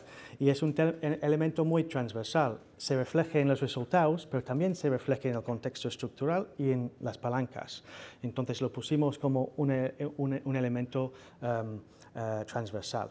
Lo mismo con el conexión internacional. La idea de que sí, queremos ser competitivos nosotros, pero tenemos que ser conectados también con otros, eh, con otros territorios. No queremos aislarnos y eso también es un elemento transversal que toca a todos los elementos del modelo. Por último, eh, este marco yo creo que pone también muchos más, mucho más énfasis que nuestro anterior análisis en las instituciones, en la importancia de tener instituciones, capital social, eh, formas de hacer formas de gobernanza, gobernanza colaborativa, todas las cosas que estamos trabajando mucho con vosotros en nuestros proyectos eh, están muy presentes también en las distintas partes, uh, distintas partes del, del, marco. Entonces, con este nuevo lenguaje de competitividad, uh, pues estamos, estamos buscando orientarnos hacia una direccionalidad clara y, y, y, lo hacemos identificando una serie de dimensiones, siete dimensiones de bienestar, cuatro dimensiones de competitividad más económico, son los resultados. Luego tenemos unas áreas de contexto estructural, eh, la demografía, la geografía de nuestro territorio, nuestra estructura económica, nuestras instituciones y valores. Y quizás lo más importante para el futuro, para pensar en qué podemos hacer para mejorar, para asegurar que estamos en la vanguardia de competitividad en el futuro, son los seis palancas eh, dinámicas, las áreas donde tanto gobierno como empresa, como eh, eh, organizaciones educacionales como universidades, etcétera, pueden hacer acciones que llegarán a tener un impacto en los resultados. Pueden invertir en capital natural, en capital físico, en financiación, en, conocimiento, capital humano y, capital social e institucional. Por último, quería comentar un poco nuestra propia estrategia en orquesta para llevar a cabo este, este marco en el futuro, cómo estamos utilizándolo en la realidad. y bueno, una forma de llevar a cabo un, modelo como el MOOC es, es dar cosas MOOC, como hemos hecho en el pasado. Hoy, hoy, en día en orquesta no estamos dando el curso MOOC de la forma que hemos dado en el pasado, pero sí estamos involucrándonos en muchas acciones que tienen el efecto de socializar nuestro pensamiento sobre competitividad y otros pensamientos sobre competitividad, incluso los marcos MOOC, eh, en distintos ámbitos. Estamos trabajando en proyectos eh, con muchos de vosotros, eh, nuestros stakeholders, eh, que investigan distintas dimensiones del marco. Estamos investigándolo a nivel regional, pero también a nivel de, los, de los territorios históricos, también a nivel de las ciudades. Entonces estamos experimentando de cómo podemos aplicar un marco como esto a distintos niveles y a distintas temáticas, como por ejemplo hoy en día el reto de, los, de las capacidades y los skills y el talento, que es un elemento muy importante que, en que mucho de nuestra investigación ahora está, está, está tocando. También estamos utilizándolo para guiar un poco nuestros informes de competitividad, para darnos un marco para seguir avanzando cada año con algo diferente en nuestro, eh, en nuestro análisis de la competitividad de Euskadi.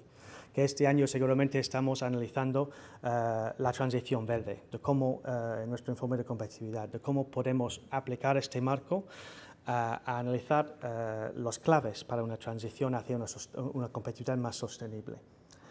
Estamos también utilizándolo para el desarrollo de distintos herramientas en observatorios, de poner los datos que utilizamos al, al, servicio de todos, que podemos mirarlos, podemos analizarlos de distintas formas. Estamos, sí, trabajando algunos nuevos programas formativos. Justo esta semana y la semana pasada tenemos un, un curso de verano experimental que estamos organizando desde Orquestra con la Universidad de British Columbia en Canadá hay unos estudiantes de Canadá aquí, eh, tenemos varios eh, participantes de, locales, de nuestros stakeholders también, y la verdad, mirando la semana pasada, estamos aprendiendo mucho de los dos contextos, de cómo están combinando, utilizando nuestro marco como una, como una canvas para intentar uh, experimentar con estos distintos aprendizajes. Y por último, diálogo continuo con los policymakers, con vosotros. Um, de alguna manera, eh, el proyecto, eh, que no hemos hablado mucho hoy, pero el proyecto de, mirar el futuro de Euskadi hacia 2040, un proyecto que ha sido debatido en muchos foros en los últimos 18 meses, es un proyecto que también empezó con una visión que, estaba enraizado en, nuestro marco. Y estamos utilizando el marco de esta forma eh, para, informarnos en proyectos y empezar a generar una estrategia hacia la competitividad que está compartido desde la investigación y desde la acción. Y es donde ahí que creo que, podemos seguir construyendo el futuro. Uh, esta investigación transformadora que es capaz de unir las capacidades investigadores eh, con todas las necesidades de acción que tenemos en, en el territorio. Y con esto en mente, eh, vamos a pasar ahora a un segundo panel que va a entrar en más detalles sobre estas difíciles cuestiones del futuro, eh, que nadie sabemos qué, va a pasar en el futuro, pero sí podemos eh, pensar de cómo nuestro propio lenguaje de competitividad, nuestra investigación, nuestra acción puede ayudar a, moldear el futuro de una forma que, es beneficioso para, todos. Y por eso pues paso a, a, Miquel Navarro, que va a mostrar el siguiente, el siguiente panel. Escaricasco.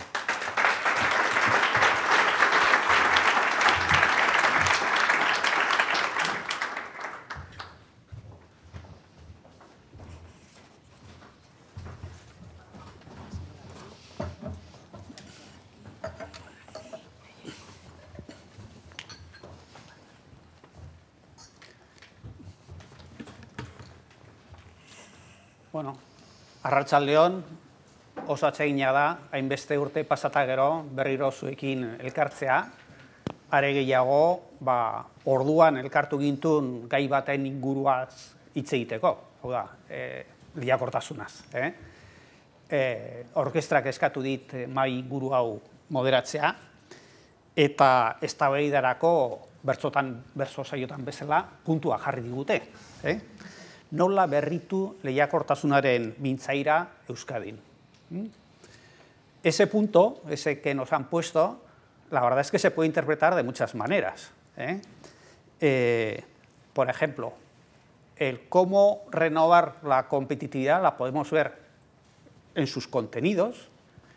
Ya para un académico hablar de lenguaje es hablar de marcos analíticos, ¿eh? cómo tú analizas una cosa, cómo la defines, de qué depende. Bueno, eh, la primera pregunta nos podemos hacer es, ¿estos marcos que hemos tenido hasta ahora los tenemos que cambiar? ¿Y en qué? ¿Eh? O sea, sería preguntarnos cómo renuevas desde el punto de vista del contenido. Otra pregunta podría ser, oye, ¿y cómo debemos renovar? ¿Cuál es el proceso para renovar un marco de competitividad? Creo que la mayor parte de vosotros os acordaréis del caso Singapur. ¿eh? En el caso Singapur, no era solo importante qué apuestas se hacían, sino cómo se hacían las apuestas, qué es lo que ligaba a todo, cuál era la cola que hacía que ahí hubiera una estrategia. ¿eh? Por desgracia, tenemos 25 minutos y entonces nos vamos a quedar simplemente en lo que es más académico, la parte, oye, ¿qué, marco, qué debíamos cambiar del marco analítico? Eh? Y para eso tenemos tres eh, invitados, los tres con un, eh, un perfil diferente, o sea, tienen estudios diferentes, desde derecho, empresariales, ingeniería, están en planos diferentes, pues diputaciones, agencias de desarrollos locales, eh, clústeres. Eh, eso sí, los tres con una carrera profesional muy exitosa y los tres han hecho el MOOC. ¿eh? Esta diversidad de perfiles es una cosa que buscamos de siempre en el MOOC, tanto los alumnos como ahora en la, en la mesa redonda, porque si por algo se caracteriza la competitividad es por un carácter sistémico, multidimensional y multidisciplinar. ¿eh? Bueno, entonces tenemos a Inara Basurco, como he dicho, estudiante inicialmente de Derecho, luego sus másteres, luego vida en sector privado, en el sector público y ya pues desde 2019 pues diputada de promoción económica en la Diputación eh, Foral de Vizcaya. ¿eh? Tenemos a Cristina, empresariales, también másteres, también pues con una dilatada vida profesional desde hace casi dos décadas de, ¿eh? de, directora ¿eh? del departamento pues de innovación, emprendimiento y empresa y también coordinadora ¿eh? en una secretaría de, la asociación BPTD. Y tenemos a José Ignacio, perfil, como he dicho, ingenieril, también completado con másteres, ha pasado por el sector privado, público y ya desde 2013 es sí, director general del clúster de la energía del País Vasco. Bueno, hechas ya estas presentaciones, ¿eh? vamos a entrar directamente en, la sustancia. ¿eh? Eh, y como no cabe hablar del futuro sin hablar del presente, o sea, esto es, no puedes crear nuevos marcos sin saber qué es lo que te es válido del marco anterior. Entonces, todos hemos conocido, nos los ha recordado también eh, James en su presentación, el marco que estudiamos en el MOOC. Eh, ese marco con pequeñas adaptaciones es el marco que hemos utilizado en los informes de competitividad. Entonces, la primera cuestión que les voy a preguntar a los eh, ponentes es en esa primera aproximación que hicisteis al, marco analítico del MOOC, ¿qué es lo que os atrajo? ¿Qué es lo que os enganchó? ¿Qué, qué veíais que era su principal fortaleza y que creéis que eso no se debía eh, olvidar? Y a su vez, bueno, ¿qué echabais en falta o qué os hubiera gustado que se hubiera profundizado más o que se hubiera trabajado más en, esos cursos y que luego habéis visto necesario para vuestra vida profesional? ¿Eh? Entonces, Vamos a, como vamos a tener, desearía más de una pregunta, ¿eh? empezamos con esta, dos minutos más o menos por cada ponente. ¿eh? Empezamos con Surekin, Ainara. Vale. Eta, a ver, zer erakarri zintun, eh? ba, lehen da biziz, 2000 Bost. bostean, egin zendun mokortan, hori, marko hori topatu zendunean, zer harritu zintun? Bueno, zertu, saiatu bonaz. Bueno, arratzalde hon e, danoi, eta lehenko eta bain eskerrak eman e, nahi dizkizuet, e, ba, gonbidatu izanagatik e, urte hurren honetara, eta konkretuki ba, mai inguru honetan e, parte hartzagatik, eta nola ez batez ere zorionak eman, ze hogei urte ez dira asko, baina asko dira, batez ere, ba, beti ere, ba, tensioa mantendu behar denean, ba, gauzak ondo egiten jarraitzeko. Beraz, hogei urtetan hemen egotea, ba, balio handiko gauza dela iruditzen zait. Eh, pienso que eh, lo que encontramos la mayoría de las personas que, o por lo menos yo, eh, que cursamos aquel curso o ese curso durante los diferentes años, es algo que luego lo hemos seguido sintiendo a lo largo de los años con respecto a, orquesta. los que nos hemos dedicado al desarrollo territorial desde el punto de vista municipal, comarcal, territorial, etc. Y es que nos daba seguridad tener un, marco, una referencia, una referencia tanto para el análisis como para la reflexión y la extracción de, conclusiones. y además ver, eh, todavía nos sentíamos mejor, o yo por lo menos me sentía mejor, a medida que veía que era un marco compartido. O sea, creo que el gran éxito también de, de MOOC y de orquestra ha sido poderlo extender a, diferentes planos y que todos hemos podido utilizar la misma referencia a la hora de, de analizar, sacar conclusiones y caminar juntos. Porque como vimos también eh, en, ese, en, ese, curso en un principio, esto se trata de, de colaborar entre diferentes agentes que influyen en la competitividad. Entonces, empezamos aprendiendo cuáles eran los, eh, los indicadores de, resultado y desde el principio nos enseñasteis, como decía John, que no era solamente hablar de, conceptos económicos, de resultados económicos, sino que el binomio económico y progreso social era un tema indisoluble. Nos enseñasteis a ver también a manejar otro tipo de indicadores tal vez más prácticos sobre los cuales podíamos tener cierta actuación y sobre todo lo que se nos quedó grabado un poco, ¿no? de, cómo trabajar con las empresas, cómo trabajar con los clústeres y cómo desde las instituciones podíamos ir generando las condiciones más adecuadas para que las diferentes políticas eh, fueran avanzando pero yo me quedaría con esas dos ideas. ¿no? En primer eh, lugar, esa, esa combinación, ese binomio indisoluble entre el desarrollo económico y el desarrollo y el progreso social y la cohesión social y en segundo lugar eh, la, la, la, visión sistémica ¿no? necesaria porque para incidir en todos esos eh, indicadores pues, interactúan muchísimos agentes cada uno desde diferente manera, pero bueno, pues cómo podíamos colaborar y bueno, pues conceptos como el capital social, los modelos de gobernanza, la gobernanza multinivel, que luego año a año creo que la propia orquesta ha visto que eran también eh, temas que era necesario profundizar y, y bueno, nos habéis ido ayudando en ello. Cristina. Bueno, en mi caso, la verdad que hace ya muchos años que, que hice el MON, creo que como, como casi todos. Entonces, a ver, yo personalmente tengo un recuerdo buenísimo de, de, de la experiencia, porque era, yo no llevaba mucho tiempo en DBGESA, que es la agencia en la que he desarrollado toda mi vida profesional, entonces sí que me dio la oportunidad de conocer a muchísima gente que sabía muchísimo más que yo, entonces yo iba siempre con las orejas abiertas.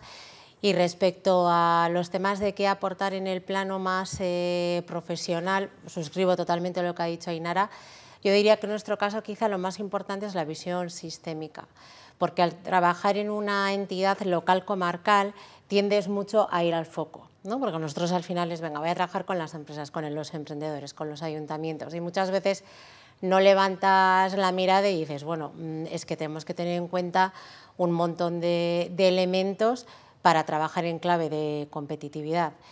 Eh, nosotros en la agencia bastantes personas hicimos el MOOC y yo creo que eso se ha notado, porque nadie, cuestiona, que tiene que haber un plan estratégico eh, comarcal, pero un plan estratégico que realmente sea una guía eh, para todos los elementos del ecosistema de la comarca, que hay que revisarlo, que hay que hacer cambios. Yo creo que también se aprende a que para conseguir grandes resultados hay que tomar decisiones a veces, pues bueno, pues no sé si difíciles o muy distintas.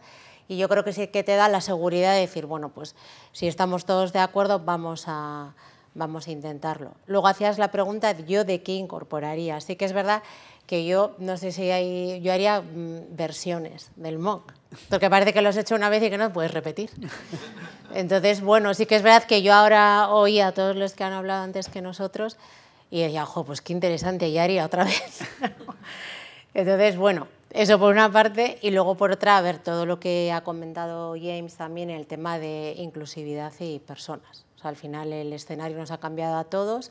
Yo creo que además, sobre todo en los últimos años, no sé si en los últimos cinco, pero bueno, recientemente hemos hecho el diagnóstico de competitividad de la comarca y pues saltan muchas cosas que, que tenemos que estar atentos. Bueno, pues lo primero agradeceros que me deis la oportunidad de compartir la experiencia y las reflexiones con el MOC. Yo, para destacar lo que creo que sería más, o lo que me pareció más fuerte, más relevante del MOC, os lo cuento desde mi experiencia personal. Yo en el 2007 hice el MOC, en septiembre del 2007, y había sido nombrado en febrero, marzo del 2006, director general del Ente Vasco de la Energía. Entonces, no sé si se dieron cuenta, está por aquí Javier Marqués, le podéis preguntar, pero yo ese primer año estuve muy despistado en el EVE porque llevaba 20 años trabajando en empresas y bueno, ahí la estrategia era la, de Porter, la anterior. Eh, mercado, cuota, ventas, eh, las cinco fuerzas, diferenciación por, por, calidad o por coste.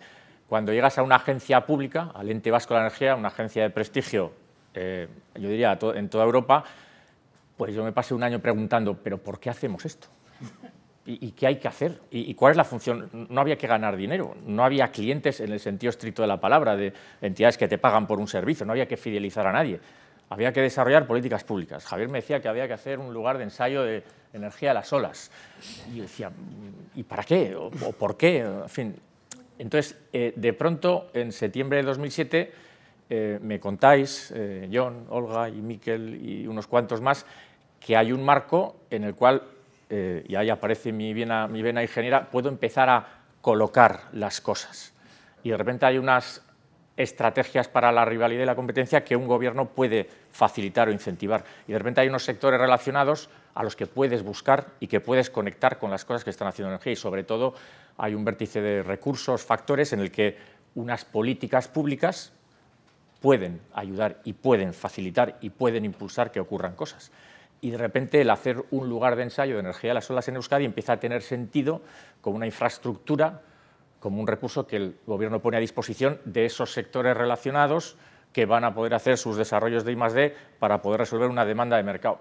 De repente, eh, los vértices empiezan a explicar que aquello tiene sentido y que lo que estábamos haciendo o lo que íbamos a hacer tenía un criterio. Y a partir de ahí, eh, programas de ayudas, eh, inversiones, colaboraciones con empresas, infraestructuras a desarrollar, empieza a tener, digamos, un sentido o puedes ir colocando, donde antes colocabas cuotas de mercado y ventajas competitivas empresariales, ahora estás colocando eh, políticas públicas. Como ejemplo pongo que eh, mi proyecto ese que nos costó tanto hacer eh, fue, el proyecto de MOC fue el del sector, cómo Escocia estaba desarrollando el sector de energías marinas en aquel momento, que era la referencia, los que iban por delante nuestro. bueno, pues fue tremendamente útil para todos, para mí, pero yo creo que para eh, los que me ayudaron a hacerlo, aunque no estaban en aquel momento en el MOOC, porque a partir de ahí también todo lo que se ha desarrollado durante los últimos 20 años en, Euskadi en torno a energía de las olas tenía una lógica de política. ¿no? Entonces, para mí lo más relevante es, eh, yo creo que el gran target de un curso como el MOOC es aquellas personas que van a tener que trabajar en gestión pública, entidades para la colaboración, gobiernos, agencias, porque te da un marco, digamos, diferente del puramente empresarial en el cual puedes empezar a encajar y le das una lógica a todas tus actuaciones. Quizá, eh, y el vértice quizá menos, no sé si menos trabajado, o que yo creo que exigiría más una revisión hoy, o que, eh, porque ya como practitioner, creo que le llamáis como clúster ahora ya, eh, el que nos empieza a fallar y donde tenemos muchas preguntas, y eso puede ser para otro día, es en el del mercado, las condiciones de la demanda.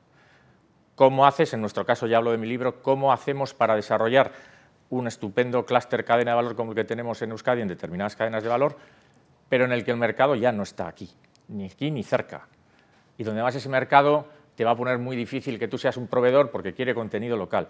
Entonces, yo siempre es el vértice que me ha parecido que requería una más continua adaptación a lo que ocurre cada vez y a la evolución de los mercados, porque hoy los mercados, ni los energéticos, ni supongo los de muchas otras industrias, no tienen nada que ver con los que fueron hace 20, hace 10 y los que serán dentro de 10. Entonces, es quizá, yo diría, el vértice que requiere más seguimiento. Obviamente hay que mantenerlo, es clave, pero que requiere un esfuerzo seguramente de irlo acondicionando a lo que en cada momento los propios gobiernos del mundo están exigiendo, o los mercados, vamos a decir así, de todo el mundo están exigiendo para dar respuesta a esas demandas. Bueno, eh, ese es el marco de competitividad que en su momento eh, conocisteis, ¿eh? el que hicisteis en el curso y el que nosotros hasta el 2021 empleamos. A partir de 2021, como has puesto James, Orquestra empieza a trabajar también con otro marco. Otro marco que tiene dos grandes diferencias con el anterior. ¿no? Uno, en el tema de los objetivos últimos, es mucho más multidimensional. En los otros sí que se hablaba de competitividad en solidaridad, pero por ejemplo el medio ambiente se mencionaba mucho menos. hay una mayor explicitación del bienestar entendido más allá de bienestar puramente económico, y bienestar económico bien repartido, más allá de eso. Y por otro lado, todo lo que en el marco anterior denominábamos los factores microeconómicos de competitividad, ¿eh? que pues ahí estaba la parte de las empresas, la parte de los clústeres, la parte del territorio, pues ahora lo hemos metido en palancas. ¿eh? Los determinantes micro, pues en el nuevo marco están en palancas. ¿no? Bien, este nuevo marco, eh, ¿qué fortalezas le veis o qué debilidades? Yo, por ejemplo, ya una debilidad casi te la compro, la de la demanda. ¿No? En el nuevo marco, pues cuesta, o sea, las palancas son más casi como inputs que juegan por el lado de la oferta. En una función de crecimiento, diría un economista, ¿eh? las funciones de crecimiento son de oferta, no son de demanda. Es uno de los problemas que tiene la economía neoclásica. ¿no? Entonces, nosotros hemos creado el marco con unas palancas que son sobre todo de oferta. ¿eh? Entonces, pues bueno, es un marco vivo, como una y otra vez nos suele repetir James, pues tenemos que ir pensando en cómo enriquecerlo. Bueno, vamos a ver qué cosas le veis que ha aportado de nuevo y qué cosas creéis que todavía, hombre, pues interesaría profundizar, enriquecer, eh, ampliar. Ainara.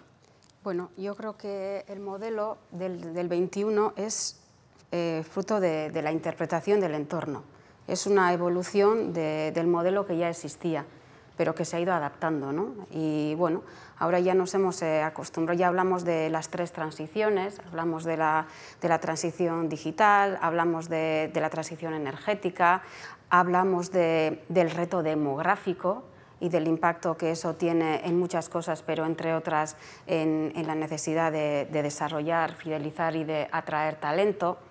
Eh, hablamos también de la necesidad de, de evolucionar los eh, modelos de, de, cogobernanza y creo que el modelo lo que ha hecho es generar más eh, agarraderos para profundizar en todo eso.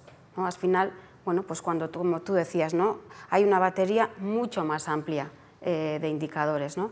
y son una, una, batería de indicadores que nos harán pensar bueno, pues cómo podemos eh, generar más pues, energías renovables, cómo podemos eh, eh, reducir la brecha digital entre las diferentes eh, tipologías de empresas, qué vamos a hacer para realmente hacer frente a esa carencia de talento que tenemos. O sea, nos, está dando un montón de agarraderos más para realmente conseguir ese objetivo finalista en el contexto actual, que seamos económicamente competitivos, pero con una cohesión y con un progreso, social equilibrado y luego además eh, nos da, eh, además de un montón de indicadores, nos da palancas, ¿no? Pues bueno, pues fíjate en el capital social, fíjate en el capital físico, ¿no? Pues qué, qué recursos tienes, fíjate en el capital natural, qué recursos naturales tienes, en tu educación, en tu estructura financiera.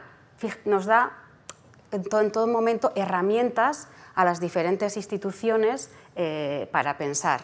Y yo creo que eso es fruto precisamente de una buena interpretación de lo que además a raíz de la pandemia y de todo lo demás, pues se ha puesto todavía más ¿no? encima de la mesa y que además nos ha puesto en una situación muy complicada porque son múltiples los países, sobre todo europeos, los que estamos en la misma situación. Entonces, bueno, pues hacer bien los diagnósticos e interpretarlos, pues eso es fundamental. Y luego también creo que ha hecho eh, otra cosa importante, es que a raíz de eh, este nuevo enfoque eh, se ha ido desarrollando una herramienta que creo que es clave y que creo que merece la pena poner en valor, que es el observatorio. O sea, junto con un modelo, orquestra, IMOC eh, o lo que sea, pone a disposición de, de todos un observatorio de, de indicadores que nos permite compararnos pues no sé si son 200 o no sé cuántas regiones eh, europeas que tienen características estructurales similares a las nuestras. Podemos elegir con quiénes nos podemos comparar.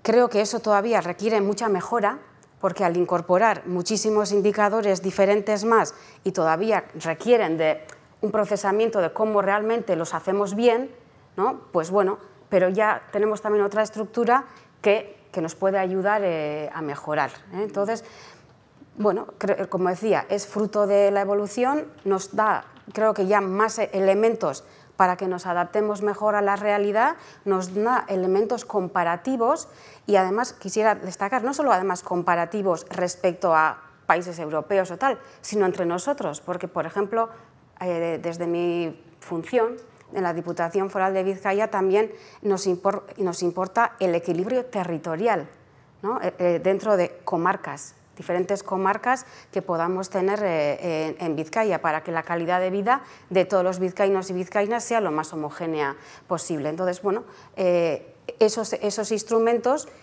que, todos, que todas las comarcas utilicen esos instrumentos de reflexión y ese mismo observatorio de análisis nos permite también ir a avanzar de manera más eh, ordenada y coordinada. Vale, me avisan que Sí, perdón, Marcato, ¿eh? Ah, sí. Un minuto Cristina. Nada, a ver, yo como positivo atacaría, bueno, pues el nuevo concepto de competitividad. Yo creo que, bueno, ya se ha comentado, ¿no? Que competitividad a veces se ha entendido con un sesgo negativo. Yo creo que aquí sí que se ve de una manera clara, ¿no? no al final no es un eh, fin, sino es un medio para conseguir el bienestar. Yo creo que ese enfoque es súper positivo. Sí que es mucho más complejo. Eh, o sea, es más completo, pero es más complejo. Sea, yo al final que mi mundo es como muy, muy práctico, es verdad que eh, es súper positivo que exista el marco que sea compartido, como adicional al tema del observatorio, comarcas, equilibrio territorial, son herramientas para nosotros espectaculares, pero sí que es verdad que luego es complejo, ¿no? porque al final yo digo, vale, pero todo esto cuando vamos a las empresas, cuando vamos a estar eh, con un grupo de empresarios, con emprendedores, tenemos que ser capaces de trasladarlo. A ver, lo conseguiremos, pero es verdad que yo creo que es el gran reto de, trasladar esto en un nuevo modelo pues, a los municipios y a las comarcas. Muy rápido. Yo creo que la gran, el gran avance que supone el nuevo modelo es el que aparezca, digamos, ese quinto vértice, vamos a decirlo así, de la contribución al territorio, al medio ambiente de la empresa, que quizás no estaba explicitado, o sea, más que como decías, además de los vértices en los que ayudamos a la competitividad, qué nos devuelve esa competitividad como territorio, como planeta, que tiene que ver con muchos de los eh, indicadores que están en los temas de bienestar e inclusividad.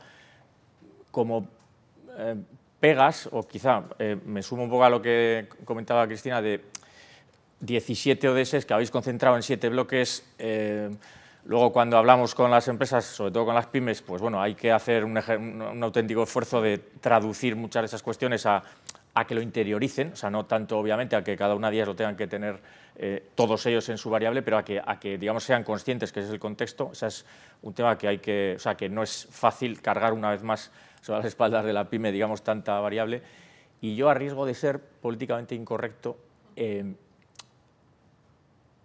hay mucha eh, insistencia, y es positivo, como sociedad avanzada que somos, en los indicadores de bienestar y es correcto, la competitividad es conseguir bienestar, pero echo de menos algún indicador, no sé llamarlo de tensión innovadora, eh, tensión social, emprendimiento no en el sentido empresarial de la palabra solo, sino el personal. ¿Cuántas personas de esa sociedad digamos, tienen la pulsión de salir de sus zonas de confort, de innovar, de crear, de emprender? O sea, frente al bienestar como sociedad, yo diría, eh, ¿cómo medimos que no nos estamos durmiendo como sociedad porque nosotros jugamos con estas variables, pero no se nos olvide que estamos compitiendo con regiones del mundo que no tienen tan claro que la competitividad es eh, necesariamente para el bienestar. Entonces, bueno, siendo conscientes de que nosotros sí eh, tengamos en cuenta que un punto de tensión, al menos en la creación empresarial, tenemos que seguir manteniendo. Sobre eso, uno de los puntos son los valores que están en la estructura que en principio podría responder. Bueno, de todos modos, ha sido yo creo que muy enriquecedora, nos han dado muchos inputs para pensar y reflexionar de nuevo en el marco y bueno, y, las preguntas que nos han quedado sin contestar luego en el cóctel, seguro que con más tranquilidad las aclararemos. Vale. Muy bien.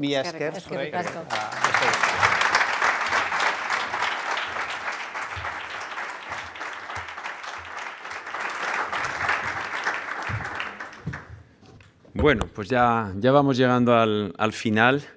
Y desde luego han pasado 20 años, pero una cosa que me ha quedado clara después de haber estado esta tarde aquí es que el entusiasmo no ha decaído. Si veo gente que ha estado mucho tiempo en esta historia, pero que sigue con el mismo entusiasmo y con la misma fuerza que hizo que esto fuese, tuviese un inicio en esa perseverancia que nos decía John y que ha sido una realidad a lo largo de estos 20 años.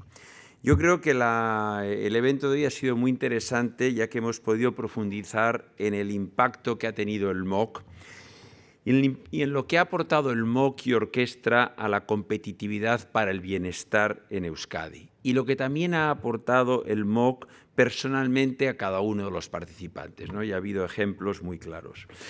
Yo creo que también ha sido interesante porque os hemos escuchado, es decir, yo he tomado por lo menos ocho o nueve recomendaciones que nos habéis dado y que desde luego las vamos a reflexionar internamente en orquesta para ver cómo podemos dar respuesta a vuestras inquietudes y sugerencias. Y luego también me gustaría, eh, de alguna manera, tranquilizar a José Luis Larrea de que ten clarísimo que vamos a seguir haciendo todo lo posible para asegurar la robustez de orquesta, la robustez que nos permita seguir acompañando a Euskadi en su camino por el bienestar y la inclusividad y la, eh, competitividad. ¿no? Y por lo tanto que esto no va a ser como un concorde frágil que un día deja de volar. ¿no? Esto, yo creo que ha habido tres grandes temas que han salido de esta, reunión. En primer lugar, y se ha dicho varias veces, la generación de un lenguaje común en competitividad, que es fundamental para construir territorios competitivos y con bienestar. Esa dupla tiene que ir siempre de la mano. Luego, en segundo lugar, la generación de confianza y capital social entre las personas participantes, esa diversidad que no sé quién de los ponentes anteriores decía que estaba en los grupos, ¿no? gente que venía de la empresa, gente que venía del gobierno, gente que venía de las universidades y que eso es clave para generar una colaboración público-privada, público-pública, eh, privada-privada, es decir, creo que es una palanca muy importante la cooperación y la transversalidad. Y luego también la capacidad de entender y de generar clústeres y tener también un marco eh, para ello. Desde el punto de vista de, orquesta, eh, el MOOC fue para nosotros, eh, yo diría, un germen importante para la creación de orquesta y de poder realmente llevar a la realidad nuestra misión, que es la de contribuir a la mejora de la competitividad y el bienestar de Euskadi. Y para ello tratamos de contribuir con cosas que James ha dicho, que es, decir, hacemos todos los años ese informe de competitividad para saber dónde estamos y qué retos tenemos, y esos retos cada vez van evolucionando. Tenemos una plataforma estable que son los observatorios, que a eh, Ainara le daba mucha importancia, que nos permiten constantemente monitorear cómo estamos avanzando, porque al final esto es una carrera que un poco como Alicia en el País de las Maravillas. Hay que seguir corriendo mucho para quedarte en el mismo sitio y si nosotros no mejoramos, van a ir mejorando otras regiones europeas y nos quedaremos por detrás. Estamos trabajando en proyectos para abordar estos retos y lo estamos haciendo en colaboración. Es decir, estamos constantemente trabajando con muchos de vosotros para lograr eh, abordar esos retos y darles una solución. Y luego, en tercer lugar, estamos aportando las mejores prácticas de otras regiones. Tenemos un reto de incorporar a Euskadi todo lo que veamos de bueno por el exterior, pero también de contar fuera lo que estamos haciendo aquí y de dar una relevancia y una visibilidad a las cosas buenas que tiene la experiencia vasca y el caso vasco. Y tenemos, eh, para finalizar, yo creo que el firme compromiso, no solamente de darle robustez, como decía a José Luis Larrea hace poco, sino de seguir contribuyendo a la mejora de la competitividad, renovando, actualizando, evolucionando el lenguaje de la competitividad y del bienestar.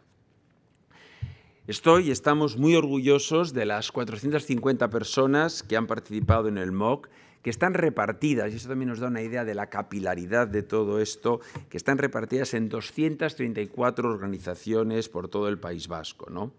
Y esperamos, y estoy seguro que lo haréis, que sigáis colaborando y que sigáis comprometidos con Orquestra en la construcción de un futuro próspero para Euskadi. Y que seáis embajadores de esa Euskadi que queremos que sea próspera, verde, innovadora, inclusiva, comprometida y conectada. Garoa, verdea, berritzailea, inclusiboa, comprometitua y conectatua la Euskadi de la siguiente generación que empezamos a construir ahora. Aurrera era jarrai dezagun denok lan, lankidetzan Euskadiren lehiakortasunareko. Sorionak eta Mila Esker de Noy. Pero todavía no hemos acabado, todavía no hemos acabado y guardar los aplausos porque ahora viene yo creo que el momento de dar las gracias. Y de dar las gracias a dos colectivos. En primer lugar, a todo el equipo de orquesta que ha estado trabajando con gran profesionalidad y con gran compromiso para hacer una realidad todo lo que hoy hemos visto que se ha hecho y que queremos seguir haciendo. Y en segundo lugar, hacer un reconocimiento que ya eh, Marijo adelantó al principio, a todos aquellos que habéis impulsado, colaborado y participado en las actividades de, eh, de, orquesta. Y por ello me gustaría invitar a Marijo y a James que subáis aquí al escenario y me acompañéis en hacer un reconocimiento a esas personas. Y para ello, es decir, cuando le he dado un poco de vuelta a este tema, y esta mañana en una reunión que hemos tenido también del, eh, del grupo de entidades que colaboran con el MOC, yo creo que ahora estamos, de alguna manera, 20 años después, recogiendo los frutos de un árbol. Y, es bueno reconocer en esos momentos, cuando estás recogiendo los frutos del árbol, reconocer a aquellos que fueron los que plantaron las semillas. Y por eso me gustaría invitar a que suban para sacarnos una foto y luego os, haremos, eh, os enviaremos, porque no lo tenemos aquí, pero un pequeño recuerdo, a John Azúa por tu perseverancia. Ven, ven por aquí por tu perseverancia en el impulso de la competitividad mediante la clusterización. A Olga.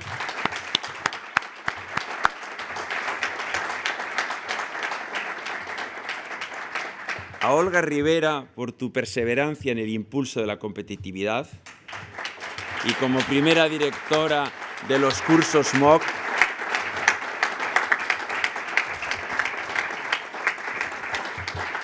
Esta es un una pequeña indiscreción, pero me dicen que en Harvard todavía recuerdan la entrada triunfal que tuviste en una de las reuniones del MOOC.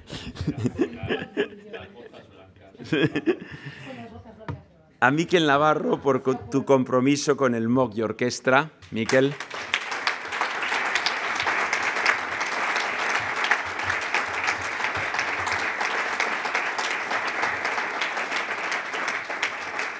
A José Luis Larrea por tu generosidad en la creación de orquesta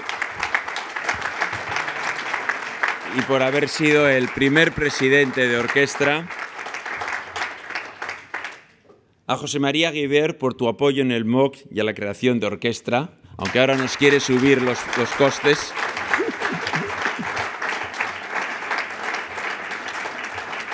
Y finalmente a Víctor Urcelay está por allí, por su apertura.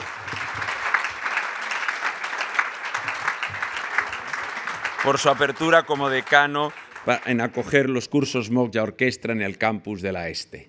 A todos ellos, muchísimas gracias. Milla Esker, os lo debemos todo.